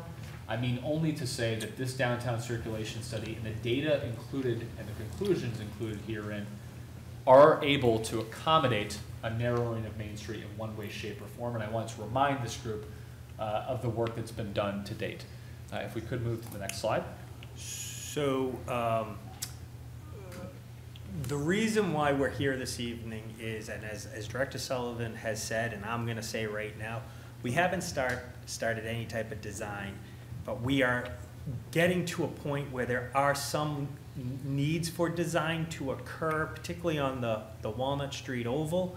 And so we just want to make sure we are acting in good interest to what we have heard over the last decade from this community. This has not been something that has developed overnight, but is something that has been discussed with me in particular repeatedly uh, over the years is we want to have a circulation of the downtown that, uh, as, as illustrated in the VHB study. And so um, I believe it would be good to have follow-on conversations about Main Street. Know Main Street can be accommodated.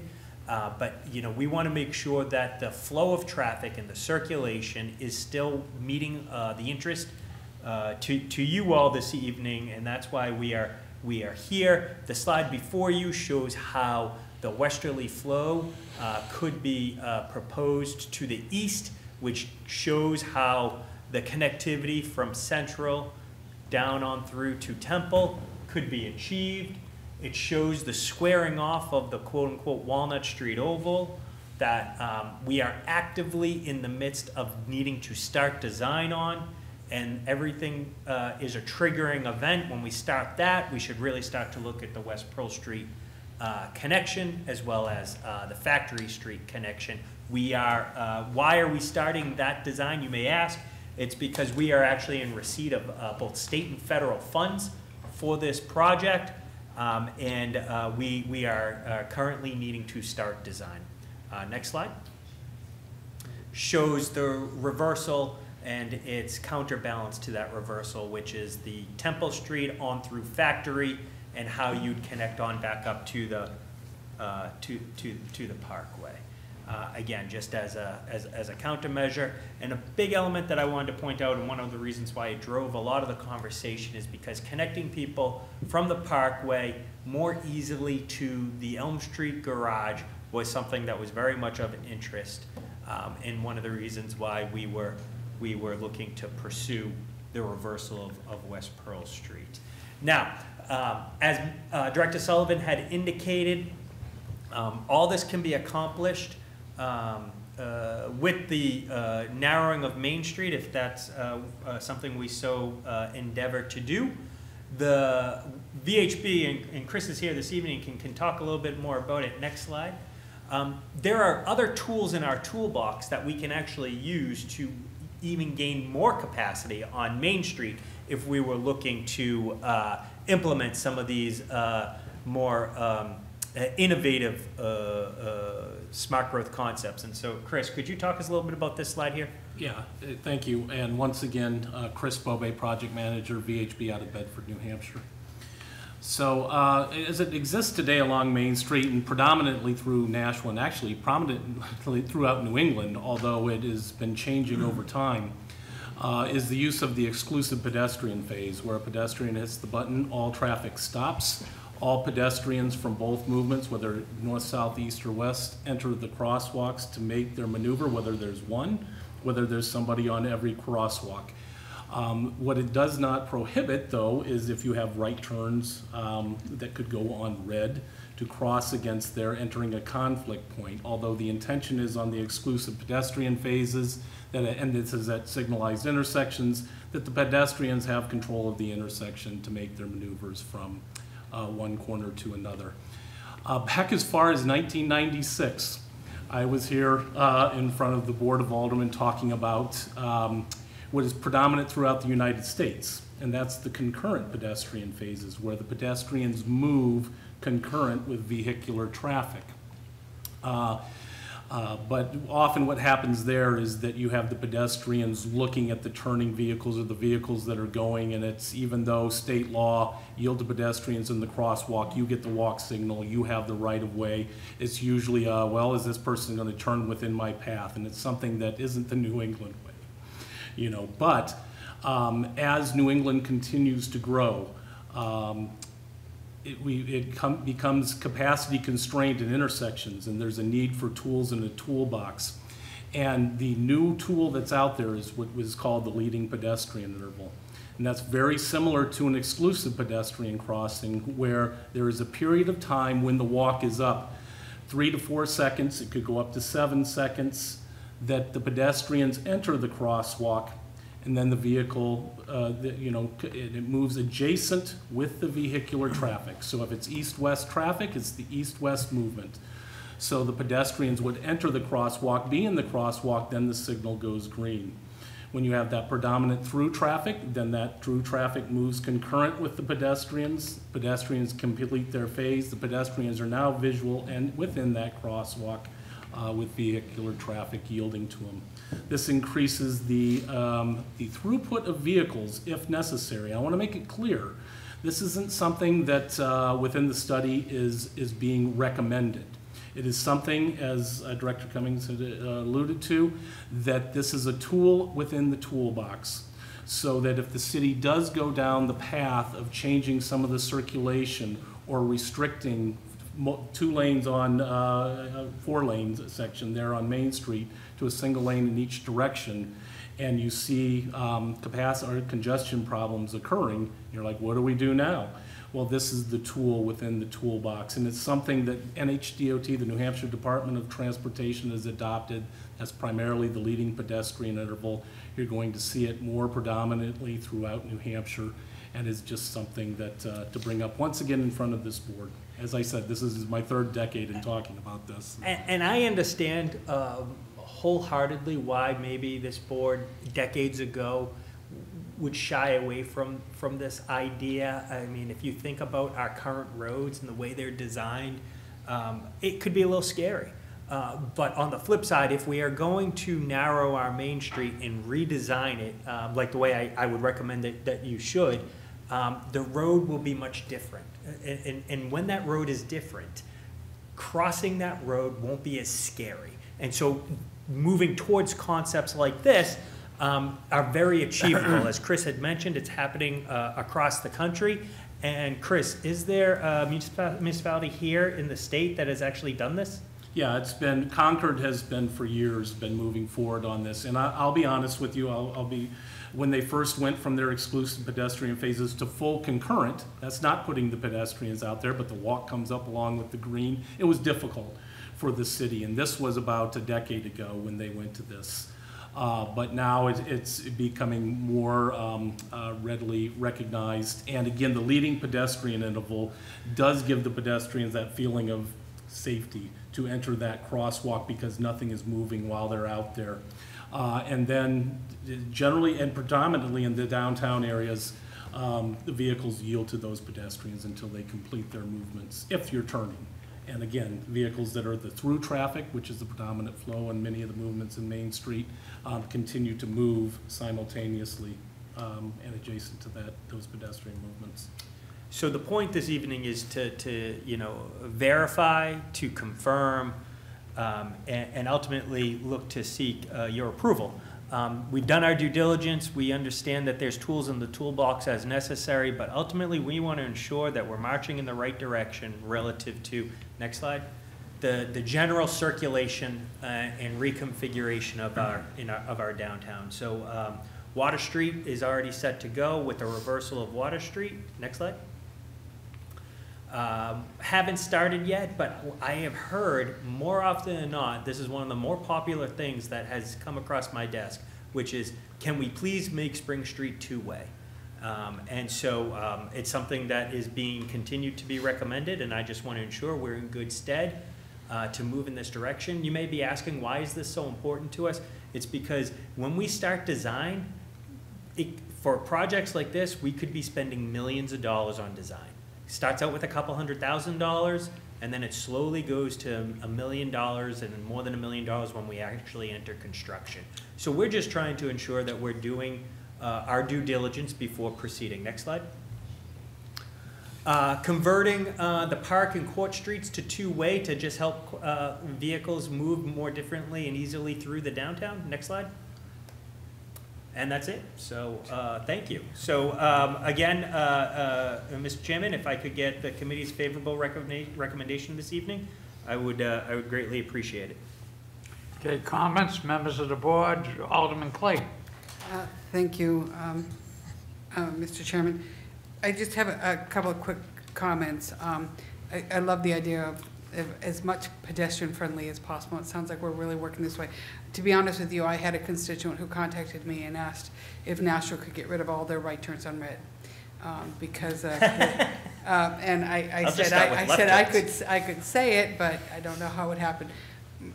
Um, I- And just so that you know, I'm, I'm going to be very open here. I'm all for this, this plan. I think we need to move forward, and, and and I love the idea, of the idea of it. Um, The, the LPI, the, the one that you, you talked about with, with that particular plan, my only concern is, um, but I did hear you say that, that most of the time cars give to pedestrians. Not always, this is New England. No, But- not at all.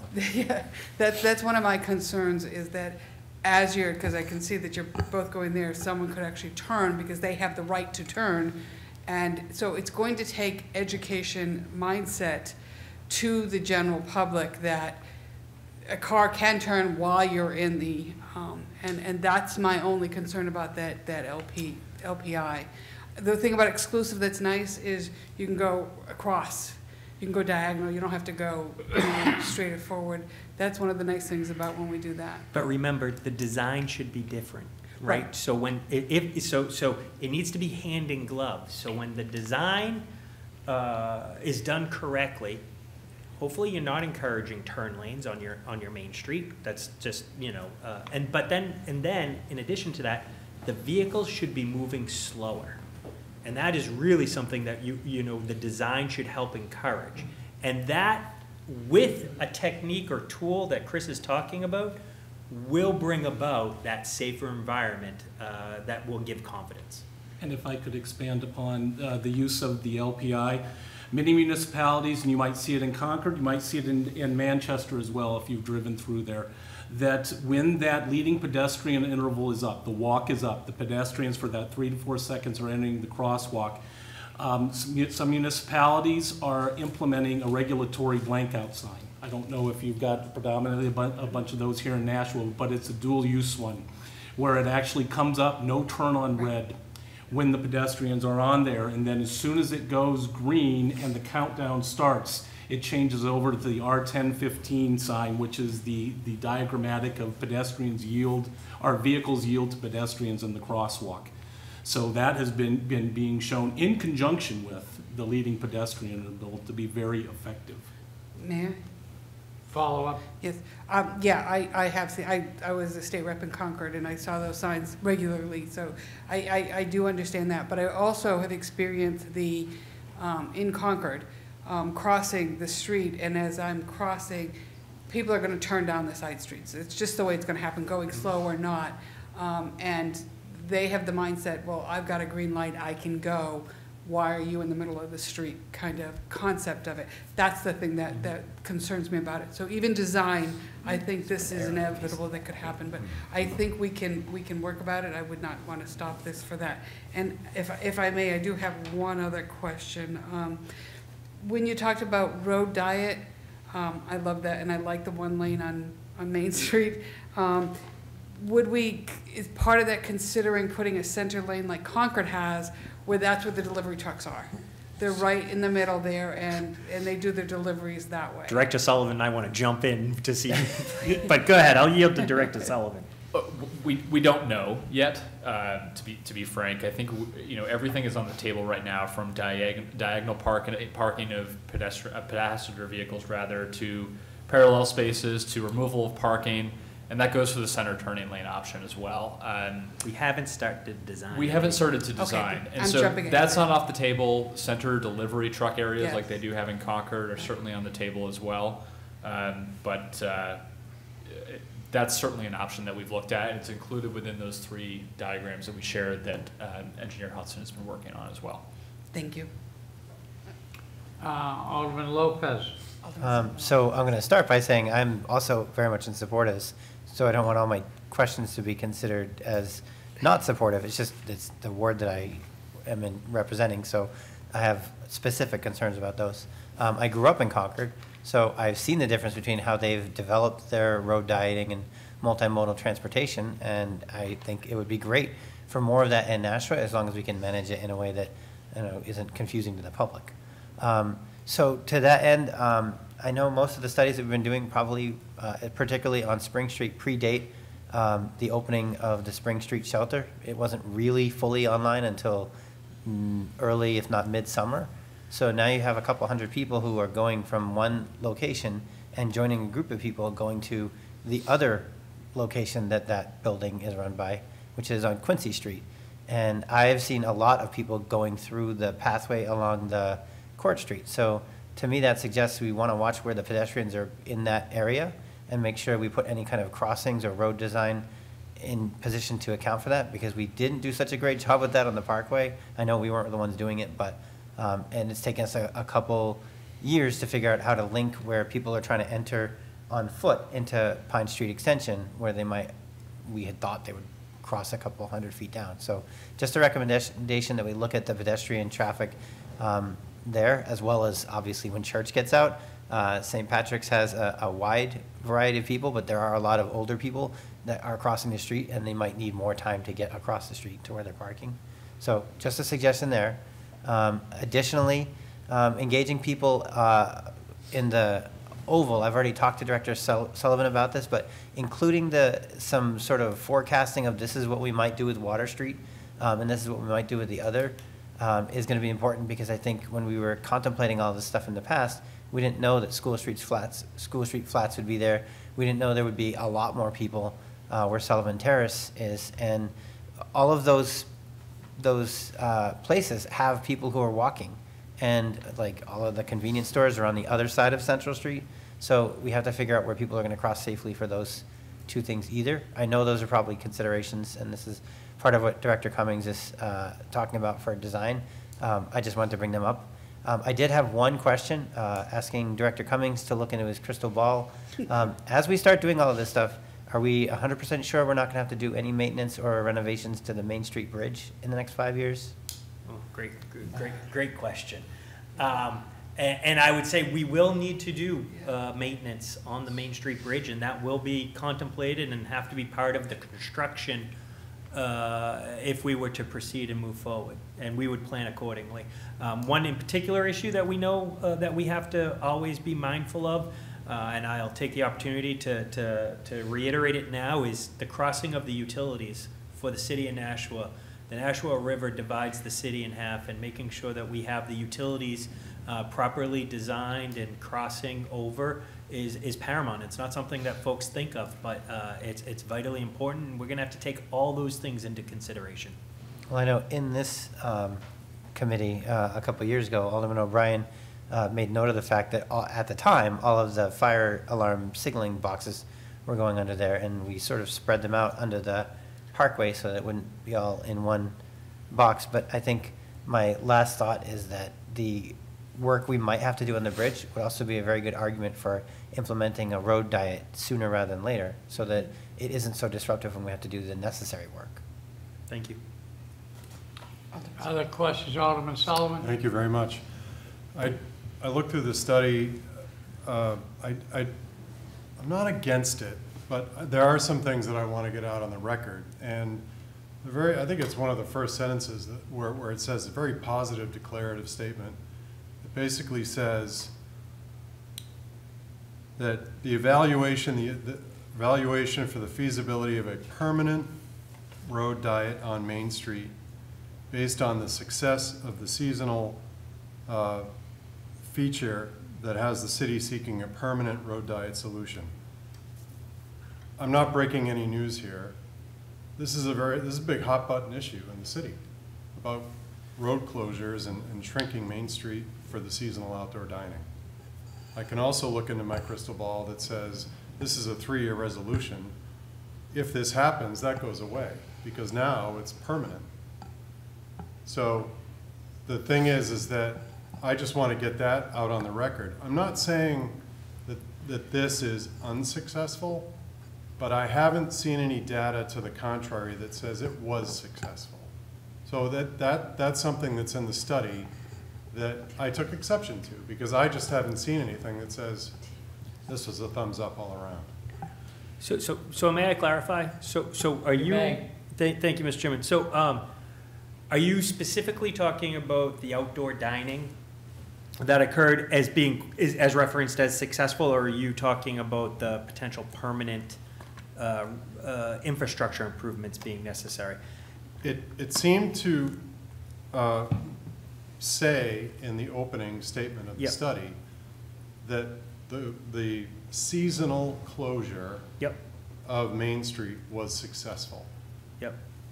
So And you- I read that and I said, I'm not saying it's been unsuccessful, but I haven't seen anything that, we did see some data, I think, after year one. Yeah. But since then, I haven't seen anything. Maybe it's been out there. It doesn't mean it hasn't been, it Yeah. hasn't happened, but. I, I mean, I'm not here this evening to defend outdoor dining and whether it was successful or not, but I'd be happy to come up, come back another night and, and talk about all the positive attributes that, that it did do. The one metric I will give you, and I don't need data to, you know, in hand to, to, to say this because you can just visually look at it, but we have almost a, a, a zero percent vacancy rate on Main Street. And so that one statistic alone should tell us that we're doing the right thing compared to a lot of our other municipalities or like communities. A lot of like communities, and when I say like communities, I'm talking about mill cities. You know, we're talking about Lowell, we're talking about Lawrence, we're talking about mill cities um, and what their downtowns look like, Fitchburg, uh, Leominster.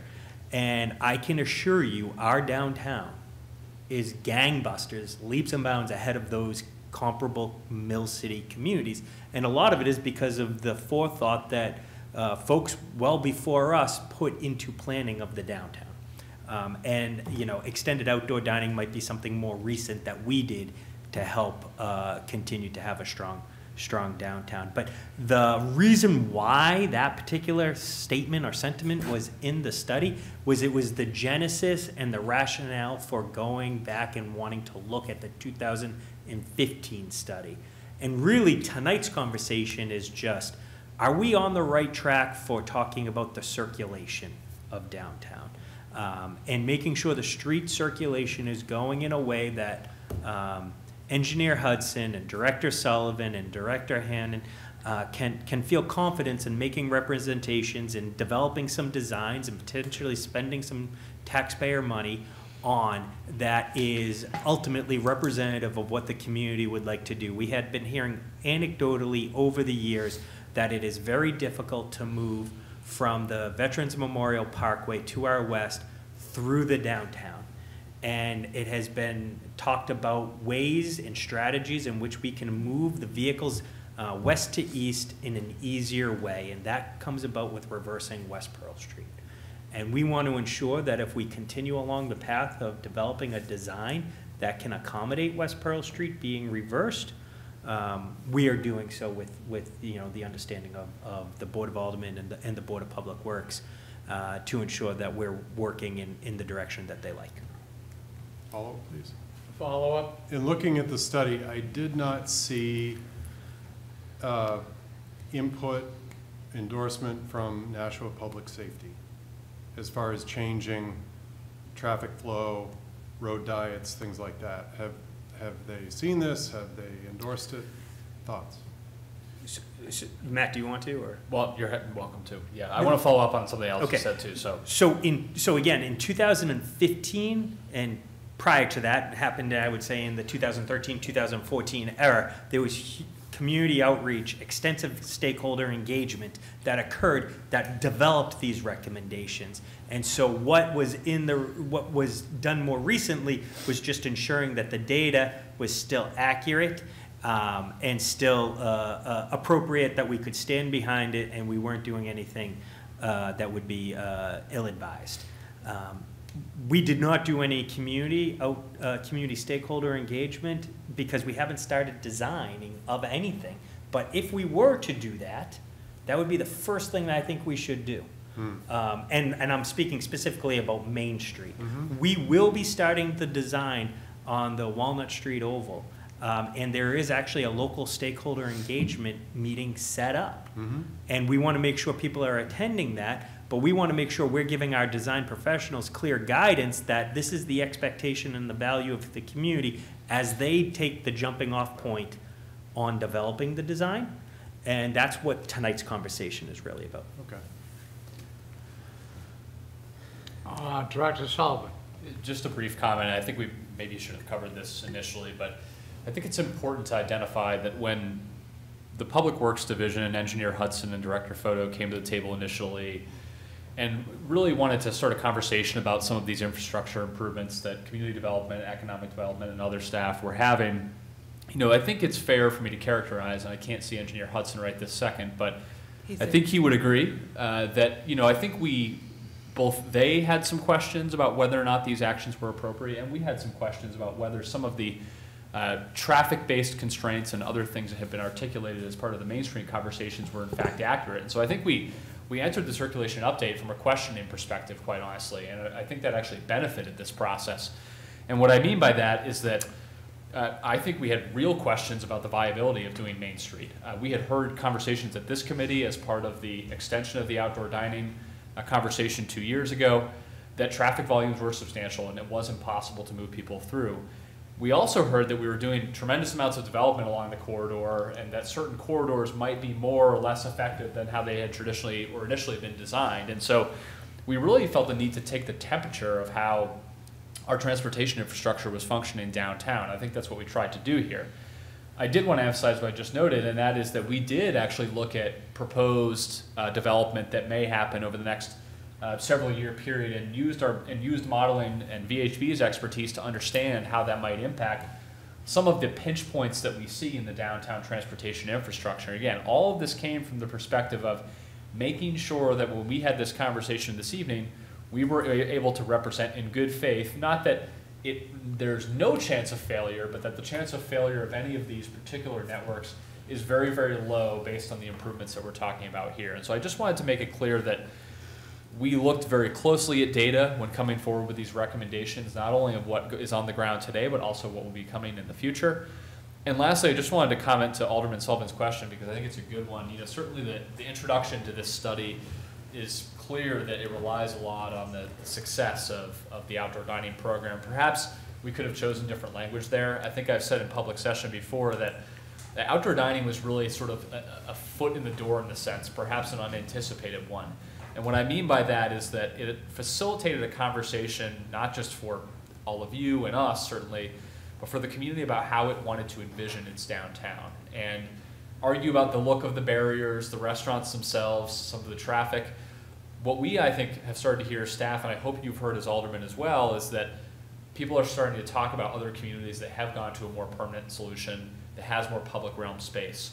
So be it for outdoor dining or for recreating or for other civic space, that's the consensus that I'm beginning to hear in the community. It may not be about outdoor- outdoor dining in all cases, but that idea of using our downtown real estate most effectively, that's what I think is really driving a lot of the conversation that's reflected in this, in this study here. And, and what I think this study also did was, uh, it, remember, back in 2013, 2014, it was theory, and what we actually have now is actuals, and it's proven out that the parkway is acting as the relief valve that people thought it would. And so that's, that's what the data showed us. And so the data showed us that we have this parkway, the parkway's performing, and it's actually doing what it was supposed to do, and it's gonna continue to do what it needs to do and only improve the situation on Main Street. So if you, if you so endeavor to make these more permanent infrastructure improvements, which for the record, I recommend that you do, I would never do anything, uh, you know, this, uh, you know, in, in temporary fashion, but make these permanent infrastructure improvements, you know that you have the parkway performing like the way it needed to. That's all. Mr. Fowler, Sullivan. I will, I'm going to endorse this. I, I like the ideas of the Water Street, the Walnut, uh, because to, contrary to what you said, it's frustrating for me when I go down the Veterans Memorial Parkway because once I get over the Millyard Bridge and then I go, it, it just seems like everything's great and then, whoa, then I'm in some type of a rat's nest and, and I really, I mean, I, kn- I know the city like the back of my hand, but you want to get here, but then you end up down here, and I think, so when I saw this, I said, yeah, we got to do this and we got to do that, and so that's what I like about the plan, and I just want to make sure that that doesn't get lost, and And that's I really didn't want to take this infrastructure meeting and turn it into a PEDC meeting, so I just wanted That's to, right. just to put that out there, so. So again, Mr. Chairman, uh, we're just looking for that high-level direction.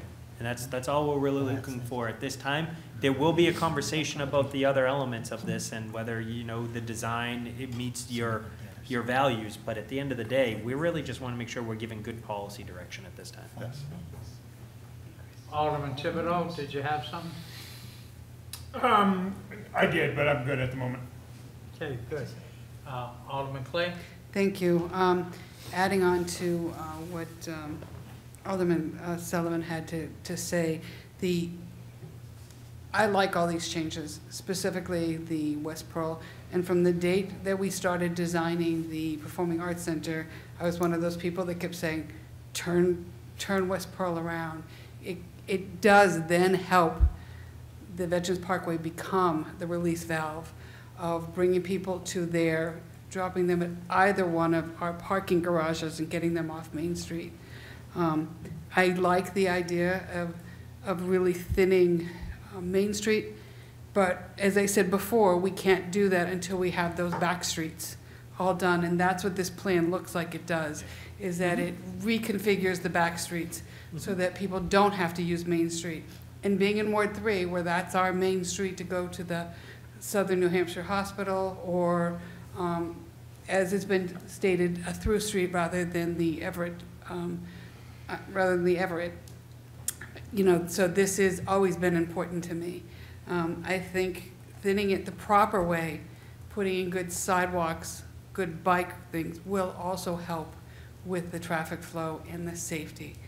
Um, we have too many near misses where people just cross wherever they want, no matter how many crosswalks we put on there. So I think thinning that cross is the most important thing, so I, I'm definitely for this. Thank you. Anybody else? Okay, seeing none, I'll call the question. All those in favor signify by saying aye. Aye. Aye. Opposed? Motion carries.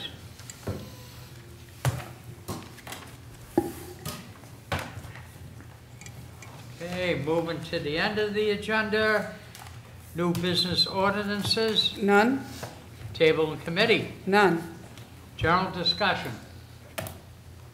Alderman. Good discussion tonight around downtown. I think it's, I think it needed to be had. I, I'm anxious to see kind of where, you know, the long-term plan of, of downtown is. I, uh, just my own opinion, I, I, I look at Manchester and Concord and I, going there so many times, I think sometimes downtown Nash was a bit of a disadvantage only because it's so far off the highway.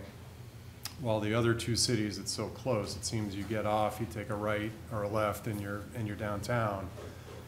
It's my hope that some of these changes that we made tonight will make that trip from exit six down to downtown will will help, uh, and so we can you know see finally see maybe the um, the realization and, and and the potential of what downtown can be. So I I think these are good discussions that need to be had, and I.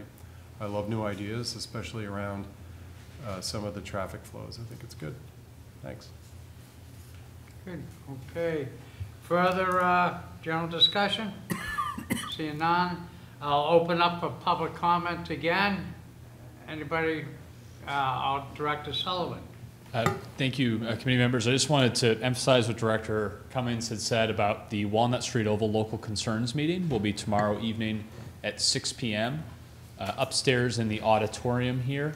Uh, It will be a generally open forum with a brief presentation at the beginning, but really with the intent of collecting input relative to needs, opportunities, challenges related to the Oval area um, and the- that scope of work area. Um, Hope to see you there. If you can't make it, please feel free to connect with myself, Engineer Hudson, really anyone here in the audience from city staff about any concerns that you might have. We're very early in the uh, alternative design development process, and so now is a good time to, to be a part of that. So please just feel free to reach out to us. And I will just say there will also be a Walnut, or rather West Hollis Street corridor study meeting coming up. I'll share a separate communication with all of you about that. That will be taking place at DPW uh, over the coming month as well. So it's a big month for transportation project planning. Thank you. Very good. Uh, There's another person from the public. Okay, same rules apply, name, address. three David, minutes. David Fiore, 23 Norton Street.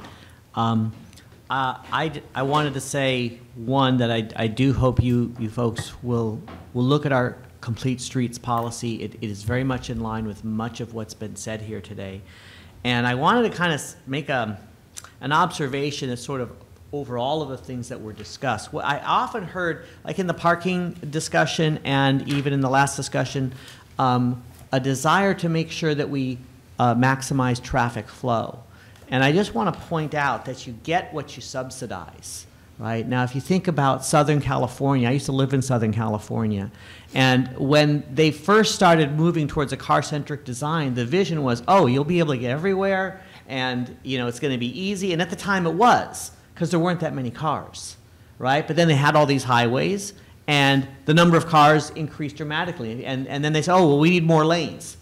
And they, I don't care how many, I've been on, I've been on like six lane highways in Southern California, six lanes in each direction, and it's still crowded, and the, and the commute is horrendous. So incre- if you increase the ability of the city to carry traffic, what you will get is more traffic right? So let's invest in the things that are going to make the city more livable, more desirable, more prosperous. And that would be bike, pedestrian uh, infrastructure. And if you look at our, our complete street study, uh, uh, um, proposal rather, on page two at the top, a number of studies are cited which show, one, one, there's one particular statistic that I thought was very interesting, that in fully pedestrianized downtowns, there was an 83% increase in business activity. That's, that's hugely significant and makes, you know, will make, I came to Nashua and I said, this could be the best city in New England. We've got, we've got a river, we've got this historic downtown. Um, I feel like we've got the bones of something really amazing. So, there it is. Thank you. Uh, There's another one. Yes, same rules apply. Hello, I'm Nate DeSelms. I live at 34 Bates Drive. I just wanted to quickly add on to what David said about, you know, making the downtown a better place to be. If the thought process is, okay, I'm going to get in my car and I'm going to go to one destination downtown with the road systems that have been put in place, I'm just going to go to that one destination downtown. I'm going to do the thing I thought I would do, get back in my car, and I'm going to leave. If the downtown is more walkable, easier to access, bikeable, you know, I might go downtown in any way, or I might drive there and just put my car in a parking garage somewhere. And then if I can easily and pleasantly walk somewhere else, well, maybe I'm going to go get a coffee. Oh, there's a furniture store there. That's cool. I pop in. And your experience really changes. And I think that's the experience we all want downtown. We all want to enjoy when we're down there and maybe spend a little extra time and enjoy it. So just wanted to add that on. Thank you. Hey, anybody else from the public? Public comment? Seeing none, further remarks by Alderman? Alderman Klee. Uh, Yes, thank you. And, and I'd like to, um, to thank those from the public that came from Nashua Strong and so on. And I think, um, what Director Cummings, Director Sullivan, and, um, uh, Chris from VHB all had to say was that we do need to look towards a more walkable, more bikeable downtown. And I think that's where we're trying to head by creating the, the streets on the, on the backside of it that allow for the passing of it, brings us to parking garages, et cetera, which would then encourage people to stop, to park, to shop. So um, thank you for all your advocacy. You do great work, and um, I know I hear from Mr. Fiore, and I hope to hear from others as well. Um, It, we don't always agree, but I think it starts the conversation, and it's needed to be heard. So thank you for an engaged public. I appreciate that. Uh, Thank you, Mr. Chairman. You're welcome. Okay, uh, seeing no other comment? Alderman Klee, do you have a motion? Yes, um, I motion to adjourn. Okay, motion is to adjourn. All those in favor signify by saying aye. Aye. Opposed? We are adjourned. Nine fourteen. At what time? 9:14. Uh, nine fourteen. Yep.